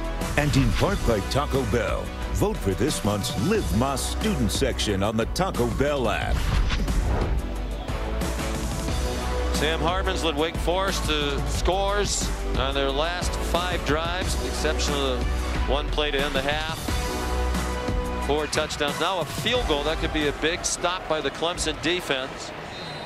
Clemson has scored on four of its last six possessions. Ivan Mora to kick off. They've been going to the pooch kickoff into a very slight breeze. And they're going to pop it up again. This time they'll try to return it. They moved Antonio Williams over to that spot. Good move. As Drew Swinney had been there, he's nowhere near as much a weapon with the ball in his hands as Antonio Williams. And A.J. Williams forced him out, but great starting field position. Yeah, that's a great call, Sean. And Dabo Swinney was coaching him up right before the kick. Lined him up exactly where he wanted him to be and said, if they're going to do that, we're going to counter with a little bit more of a weapon there to catch the football. And you think Wake Forest should have been looking, okay, that's yeah. not Drew Swinney anymore. It's a much more dynamic player. Best starting field position for Clemson. Up and down they go. Neither team has turned it over. We've eight minutes to go. In a classic here in the ACC, Shipley, the short pass and run to the 48 of Wake Forest.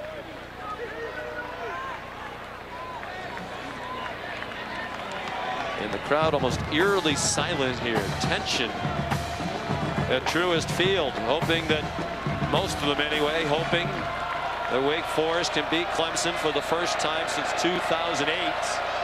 13 straight losses. Shipley again, lots of running room and a good open field tackle. Malik Mustafa, Shipley's high school teammate, back in the game with a separated shoulder to make a big stop. Third down and two. Yeah, here he is right here. He's going to come up. He's a fearless safety, good open field tackler at 13 tackles a week ago. Injury or not, he's going to get his teammate, high school teammate on the ground. Third down and two. 13 out of 19. On third down, the Tigers. Uiagalelei First down to the 40-yard line. Tackled around the legs by Dion Bergen, a senior from Kissimmee, Florida. I think if you're Clemson right now, too, you're thinking, let's run some clock, too, right? I mean, we, have got on the move. They have not been able to stop us here of late. Confident you might be able to get a touchdown. Let's let's limit the amount of time or the amount of possessions Wake Forest might get again with the football And the biggest play calls of Brandon Streeter's offensive coordinator career right here with help from Dabo Swinney. Uiagalelei taken. They blitzed Mustafa. Great call by Brad Lambert. A huge sack. Yeah, and what happened was the running back got caught double teaming here. Here's Mustafa. He's going to blitz. That should have been the responsibility of Shipley. But Shipley's helping the tight end. Nobody picks up Mustafa and a well-timed blitz gets the sack for Wake Forest. Nine-yard loss. First Wake Forest sack of the day. From midfield, 5.35 to go. Clemson with the longest winning streak in the country. Nine in a row back to last year, down by three. Uiagalelei flushed Stopped at the 43-yard line. They'll need 12. On third down, stopped by Ryan Smenda. You got to think about now, BT Potter's got a great leg. What is his range? Where do you have to think about getting here on this third down and 12 to give yourself a chance to tie the football game? Potter's made seven field goals in his career 50 plus. That is the Clemson record. Considered to have the strongest leg in college football. On third down, Stool gets them into more comfortable field goal range. They might not have tried it from the 41 yard line, but they will run Potter out there for about a 52 yard try. That was a good decision by DJ. Just get yardage, give our guy a chance. It's a back and forth game. Potter is seven out of nine in his career from 50 plus as long as 52. This one will be put down very close to a 53 yarder. Drew Swinney the holder. And that one is good!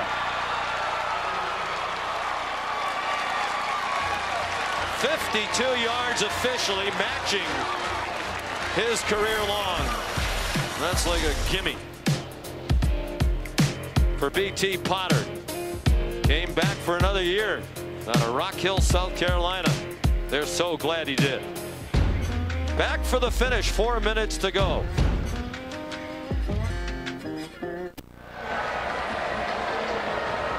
Tied at 38, 401 to go. Clemson trying to win its 14th straight against Wake Forest. Wake Forest has lost 62 in a row against top 10 teams. Their only win against number four Tennessee back in 1946. And a touchback, it'll start at the 25 yard line. Sam Hartman has had a brilliant game today, but right now with four minutes left, it's it's crunch time. And the number one thing you have to think about with your offense is you've got to stay on schedule. You can't have negative yardage plays and get behind the chains against Clemson's defense. Stay ahead of schedule, continue to take care of the football, and see if you can get your team down the field for another score.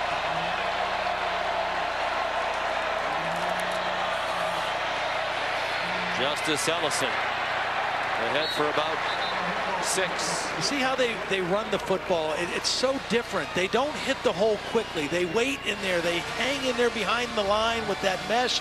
And when they see a little crease, then they pop it out. Again, you mentioned it. 80 yards rushing now, most of all of that here in the second half. They're going to try it again. Ellison again. Ahead to the 37. All of a sudden, their rushing team. Last time Wake Forest won, 13 years ago, meetings ago, 2008. KJ Henry's dad, Keith, was on the staff here at Wake Forest under Jim Grobe. A couple of days after Coach Henry's team beat Clemson, Tommy Bowden was fired as head coach at Clemson. Just a couple of days later, and he was replaced by a relatively unknown assistant by the name of Dabo Swinney. KJ Henry has told Dabo many times over the years, my dad is responsible for you getting the head coaching job, and it's been a Hall of Fame head coaching job done by Dabo. Steady diet of runs here. And it's Ellison. And here comes a huge third down. He's about a half yard short of the line to gain with two and a half minutes to go and neither coach inclined to use a timeout right now.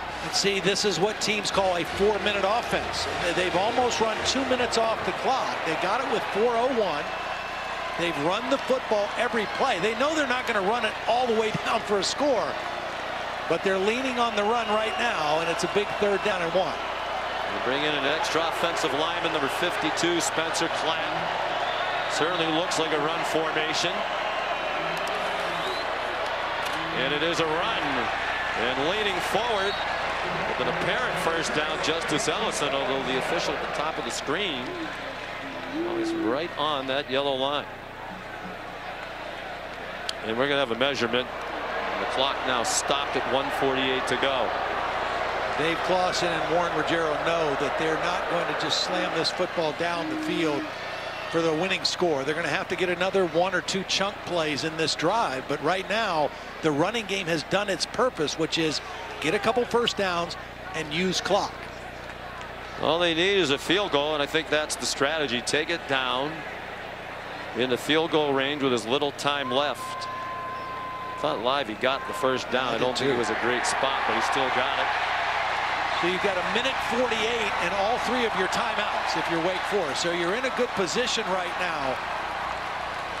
But the throw game is where you've made your hay today, yeah. right? I, I mean, don't know why you go completely away no, from those bombs because you are completing a lot of them and you're getting a lot of pass interference calls against Clemson and they have a an inexperienced secondary. So many of those names that we've called for several years not in the back seven. Yeah, and that's a true freshman there. So, I mean, they, they still got young guys out there in man coverage situations. Yeah, that might be a little too much on the run. Ellison dumped by Tyler Davis. Neither team stopping the clock here. Loss oh. on the play of about three. Yep, that's that's not staying on schedule. Second and 13 now. Both inside backers blitzed on that play. Good call. Back to the passing attack. Hartman is going down. Back inside the 40. Tyler Davis and Myles Murphy. Wes Goodwin said, I am waiting for Myles Murphy to cut it loose. And he did on that play with Davis. Second and 13, you only have to rush your front four, and you see why the strength of this defense is your defensive line. Huge play on second down. Timeout, Clemson.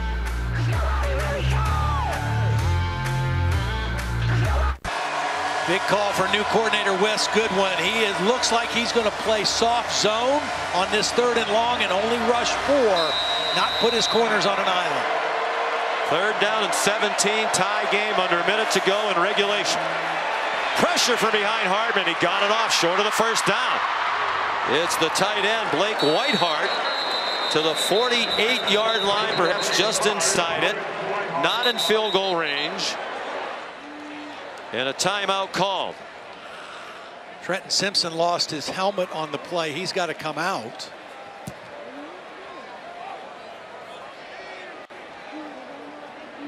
And it's a Clemson timeout. There was no timeout. It's for the injury. We'll see if either coach stops the clock. It's fourth down and five.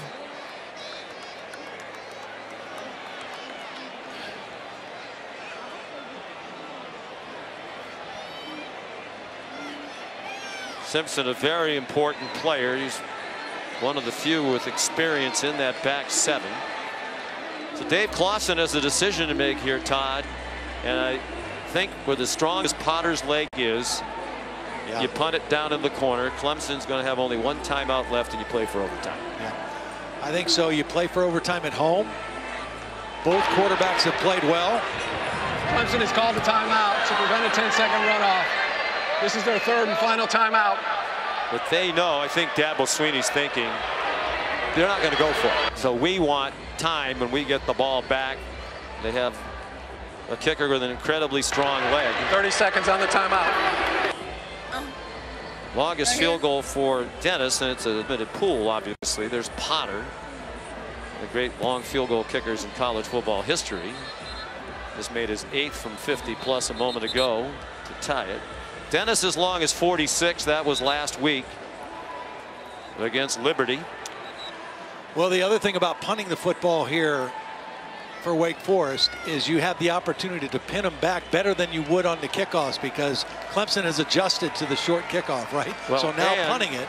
You know, if you pin them in there deep, you have all three of your timeouts right. if you want to use them That's on right. defense.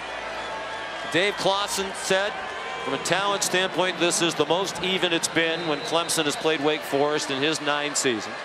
He said we need to win a close game. It's a close game. He's terrific in close games, nine and three since the start of 2020 in one score games, including last week when they hung on to beat Liberty. Good punt by Mora. And it'll be down at the 13 yard line. Clemson only had 10 guys on the field that time. I mean, I'm not sure what exactly they were. Obviously, they were in a safe punt situation, but didn't have enough players on the field. So if you're Dabo Swinney, you're inside your own 15. You have no timeouts. Yeah, I mean, you don't want to be careless here. You maybe try a screen or something safe early. If you can get one first down, maybe you become a little more aggressive. Your quarterback has made good decisions all day. But this first play and the first first down, how quickly you can get a first down kind of would dictate that. They have three wide receivers, two to the left of Uiagalelei. Shipley, we're hoping he could pop one. He's certainly capable of it.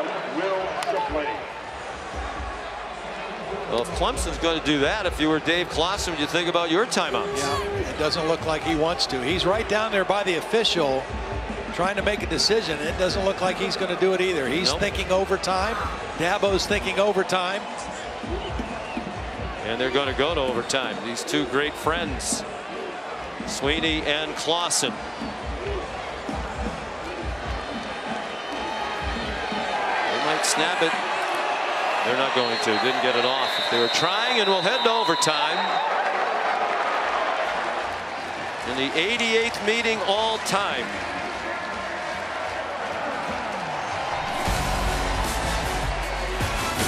So many streaks on the line in this critically important ACC game in the top 25. Studio reminding you we've got seven minutes away from Notre Dame at North Carolina. Kickoff of that game scheduled to be on ESPN News as overtime begins in Winston-Salem. Back to you, Sean.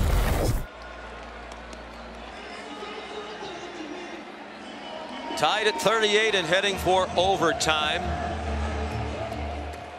Here's the coin toss. All right, gentlemen, we're going to overtime. Each team has one timeout. Okay? When we start the series, we start at the 25. We're going play regular football from the 25. Second time through, start at 25, but you got to go for two. And then the third possession, we're going to start on the three line, three yard line. Any questions so far? Yes, sir. All right, got a coin. That's a head. That's a tails. So there is a tails. All right, what's your call, Clemson? Tails. Tails is a call. It is a tails. Defense. Clemson wants defense, offense. We'd like to play down there. You got it. Let's go. Wake Forest. Wake Forest. That's KJ Henry, of course, his dad, a former Wake Forest coach, who made the call on the coin toss. Here's how he got there. That was the two-point play that tied it at 28. Clemson led 14 to nothing right out of the gate. These two teams have just answered each other score for score. Some incredible individual efforts by both teams. Couple clutch kicks. Consider those defensive stops as well when you make them settle for a field goal, but it has been one response after another. No turnovers. The kickers have been perfect. Total yards 504 now for Clemson, 418 for Wake Forest, and 79 rush yards in the second half. They start from the 25. You almost always choose to go on defense. See what happens when you go on offense. You know what you need to do. Ellison, the running back. They start with him again. Big hole. Justice Ellison. A nine-yard gain. Myles Murphy took him down. Yeah, they blitzed and they laid an, an open gap. Two guys went into the same gap. It was a good read by Ellison seeing the daylight and a nice run on first down. It is the most experienced offensive line in the country. And holding its own today against the Clemson defense that's beaten them up in recent years. Ellison got the first down. I think you got to attack right here. You've run two plays. You got a first down. I think you got to go after these two different corners. You've got Toriano Pride, number 23, a freshman up here. And on the other side, you got Nate Wiggins, number 20. Both have had tough days. Right now, it looks like the safeties are in a position to help both corners. Both corners playing well off. Ellison again. A yard, perhaps. Doesn't look like he got anything. I think Dave Clawson, win or lose, will be asked about this very run-heavy play calling late in the game when they flung it all over the place. Hartman, a career day five touchdown passes, 329 yards. And part of it is the philosophy has changed defensively for Clemson. When they have two high safeties, that means we're trying to help our corners. And we open this up, up to the run. Ellison found a hole on the left and Powers driving those legs at 5'10", 208. Here comes an enormous third down and three. Jeremiah Trotter made the tackle, the new starter this year, the son of the outstanding Pro Bowl player for the Eagles, Redskins, and Bucks. He's the middle linebacker now. Huge play. Hartman throws to a wide open receiver for a touchdown. Nobody near A.T. Perry. A bust in that young and inexperienced secondary.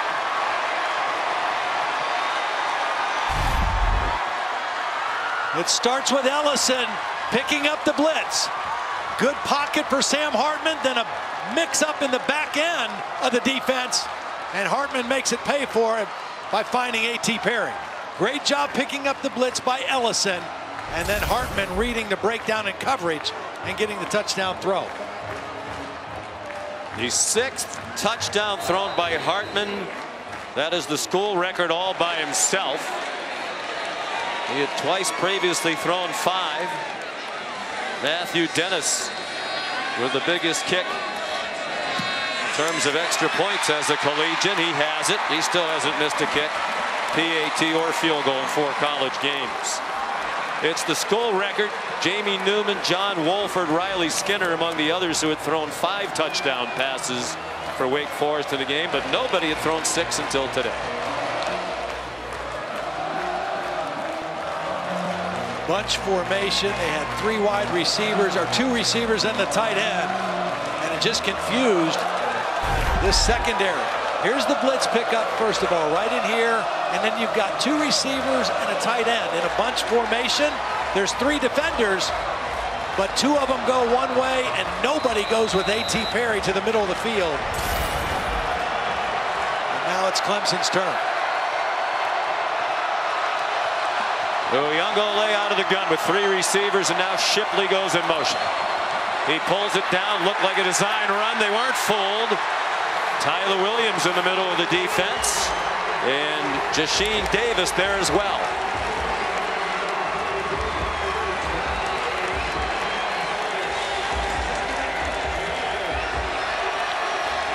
Uiagalelei is thrown for 325 and three touchdowns. Antonio Williams has been a little bit of a problem for Wake Forest. Here he is, the first guy in this little jumbo set. Oh, young Uiagalelei rolls in the direction of that two receiver setup. Found Beaux Collins, but well short of the first down. Third down and six. It's definitely four down territory. A field goal does them absolutely no good. They have to score a touchdown and kick the extra point to get to a second overtime. And that affects your play calling. You automatically know you've got two downs here. You call a play to get past the sticks, but if you have to dump it off early or if the quarterback has to run, you know you got another down to make the, the yard to gain.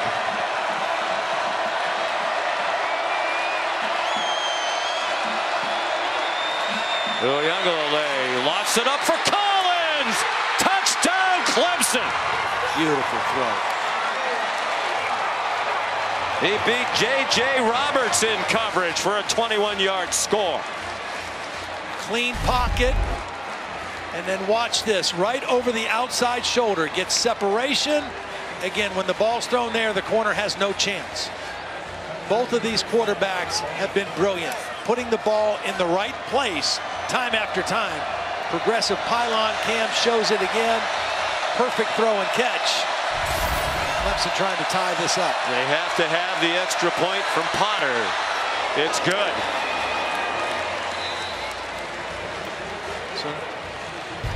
And we'll head to a second overtime. Beaux Collins, the touchdown. His former high school teammate and great friend, DJ Uiagalelei, who's thrown four TDs.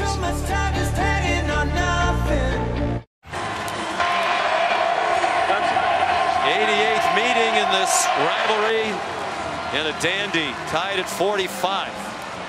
Under Dabo Swinney, Clemson 120 and 2 when leading by 14 points at any point in the game. They led 14 nothing today. You have to go back to 2012, the last time they lost in that situation at Florida State. 2010, the other against Auburn. They haven't squandered a 14-point lead in a decade. And trying to keep that mark intact. So many streaks on the line, but more importantly, the win for two teams eyeing a conference championship. On the run, Shipley on first and 10. Will Shipley powers down. He will not be denied, as we saw on the short touchdown run and on that run for nine. This had a chance to be about a two-yard loss. Bothroyd has him behind the line of scrimmage, can't get him to the ground. And once Shipley gets his shoulder square, it's more yards. And a flag down. Ball start. Offense, number 71. Five-yard penalty. Second down. Jordan McFadden, the grad student. We talked to Brandon Streeter. He said, I have no worries with him. He's terrific. That's a costly penalty. They're 10th for 120 yards. Second and six. They score a touchdown here with the new rules this year. You heard Jeff Heiser, the referee, explain they have to go for two.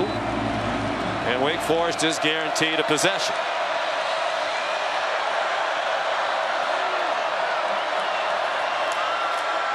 Uiagalelei, single coverage, man breaking free. Collins couldn't make a one-handed catch.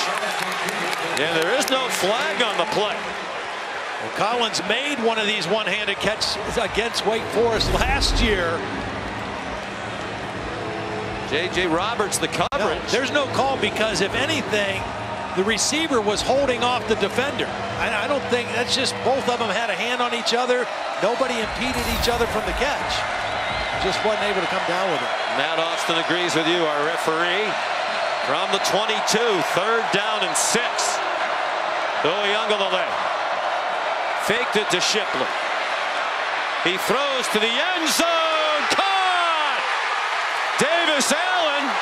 There was plenty of hand fighting in the end zone with Mustapha in coverage. Allen, another touchdown catch.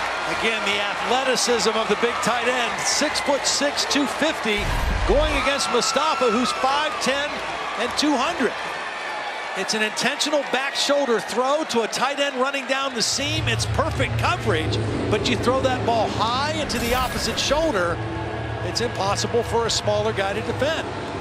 Just a perfect placed ball by DJ Uiagalelei. Coach has told us Allen might be the best blocking tight end they've had during the Dabo Swinney year, and he's more than dependable as a receiver. He has been today. Two touchdown catches for the senior from Calhoun, Georgia. Now they must try for two. Put it on the left hash mark again. Shipley on the right hip of DJ Uiagalelei. Career high five touchdown passes. Uiagalelei has it batted down. Kobie Turner. A huge play. Second time he's done that today. He's nowhere near the quarterback. He's not going to get close to a sack but he is going to get a deflection. He's kind of stymied at the line of scrimmage, but he keeps his eyes on DJ and times his jump and gets a big paw up there to knock it down. Here's Kevin Negandhi. Sean, an update from the Bronx. Aaron Judge, fourth at bat, a home run shy of 61, and this is how it went down. A check swing in a 5-5 game with 2-2 count, and he's called out. So Judge, four at-bats, 0 for 3 with a walk, still sitting on home run number 60, chasing history. Back to you. All right, thank you, Kevin. Here, Wake Forest needs the touchdown to tie the game, and then they'd have a try for two to win the game. They have to score at least six. They stick to the ground game, and Ellison is dropped. Sean, they stick to the run game because the numbers say stick to the run game. However, Bresee, right in the middle of this defense, just makes a man's play. I mean, there's only five guys in the box, but Bresee just beats his man to the line of scrimmage, or Tyler Davis. Hartman, deflected pass in the general direction of Whiteheart, and that was Bresee who batted it out of the air. These two guys on the inside, both will be playing on Sundays. They did not play a week ago. There's the Bresee family. They had memorial service for Bryan's 15-year-old sister, Ella, this past Tuesday. You can imagine what an emotional day this is. You saw it in the dad, Rich. Third down and 10. Hartman running for his life runs out of bounds at the 22-yard line. They'll give him the 21, pursued by Barrett Carter, the speedy sophomore linebacker, another new starter. And it is a must-have fourth and six for Dave Clawson. Or the streak goes to 14 straight wins for Clemson over Wake Forest. And again, soft coverage with safety help. They're not going to get beat in man-to-man. -man. Hartman Throws it into double coverage. Knocked down by Wiggins. Terrorized most of the day. And an emotional win for the Clemson Tigers.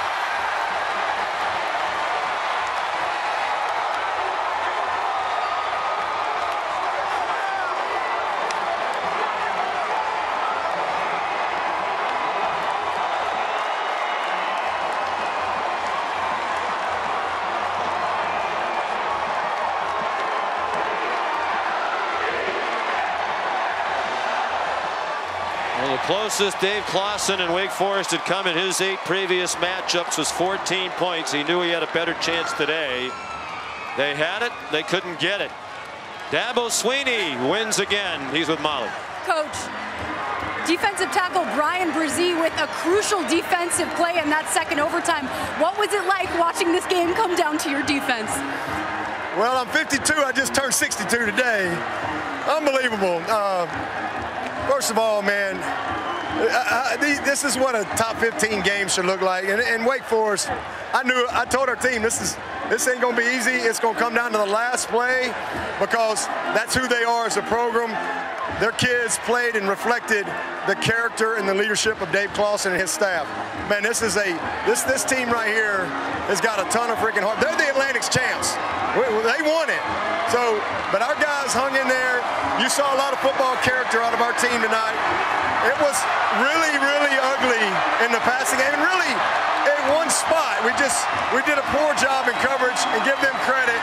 But when it came down to that last play, we, made it. And and I'm so proud of our offense. You know, uh, we'll get this defense fixed. But man, this offense, our quarterback, our, all the big plays, they never flinched. And you know, that's what it's all about, man. I'm just really proud of them. They grew up a little bit tonight. Again, we're we're a work in progress. The name of the game's to win. It's been a long time since we've had an overtime game. But if you're going to be, if you're going to win a division championship, a league championship, you got to be able to win on the road. And to be able to win in overtime on the road with a lot of adversity, that shows the character and the heart of our young men. I'm really proud of them. Speaking of character and heart, how about the fact that one of the most crucial defensive plays came down to Bryan Bresee? Yeah, Bryan, you know, listen, his family's here. I didn't get a chance to see him before the game, but it's been a crazy week, and I'm proud of Bryan. It's been a tough time for him. Uh, but, uh, you know, I'm sure his, his, family, they needed a little joy. And hopefully, uh, hopefully they can go celebrate tonight and enjoy this game. Congratulations on the win.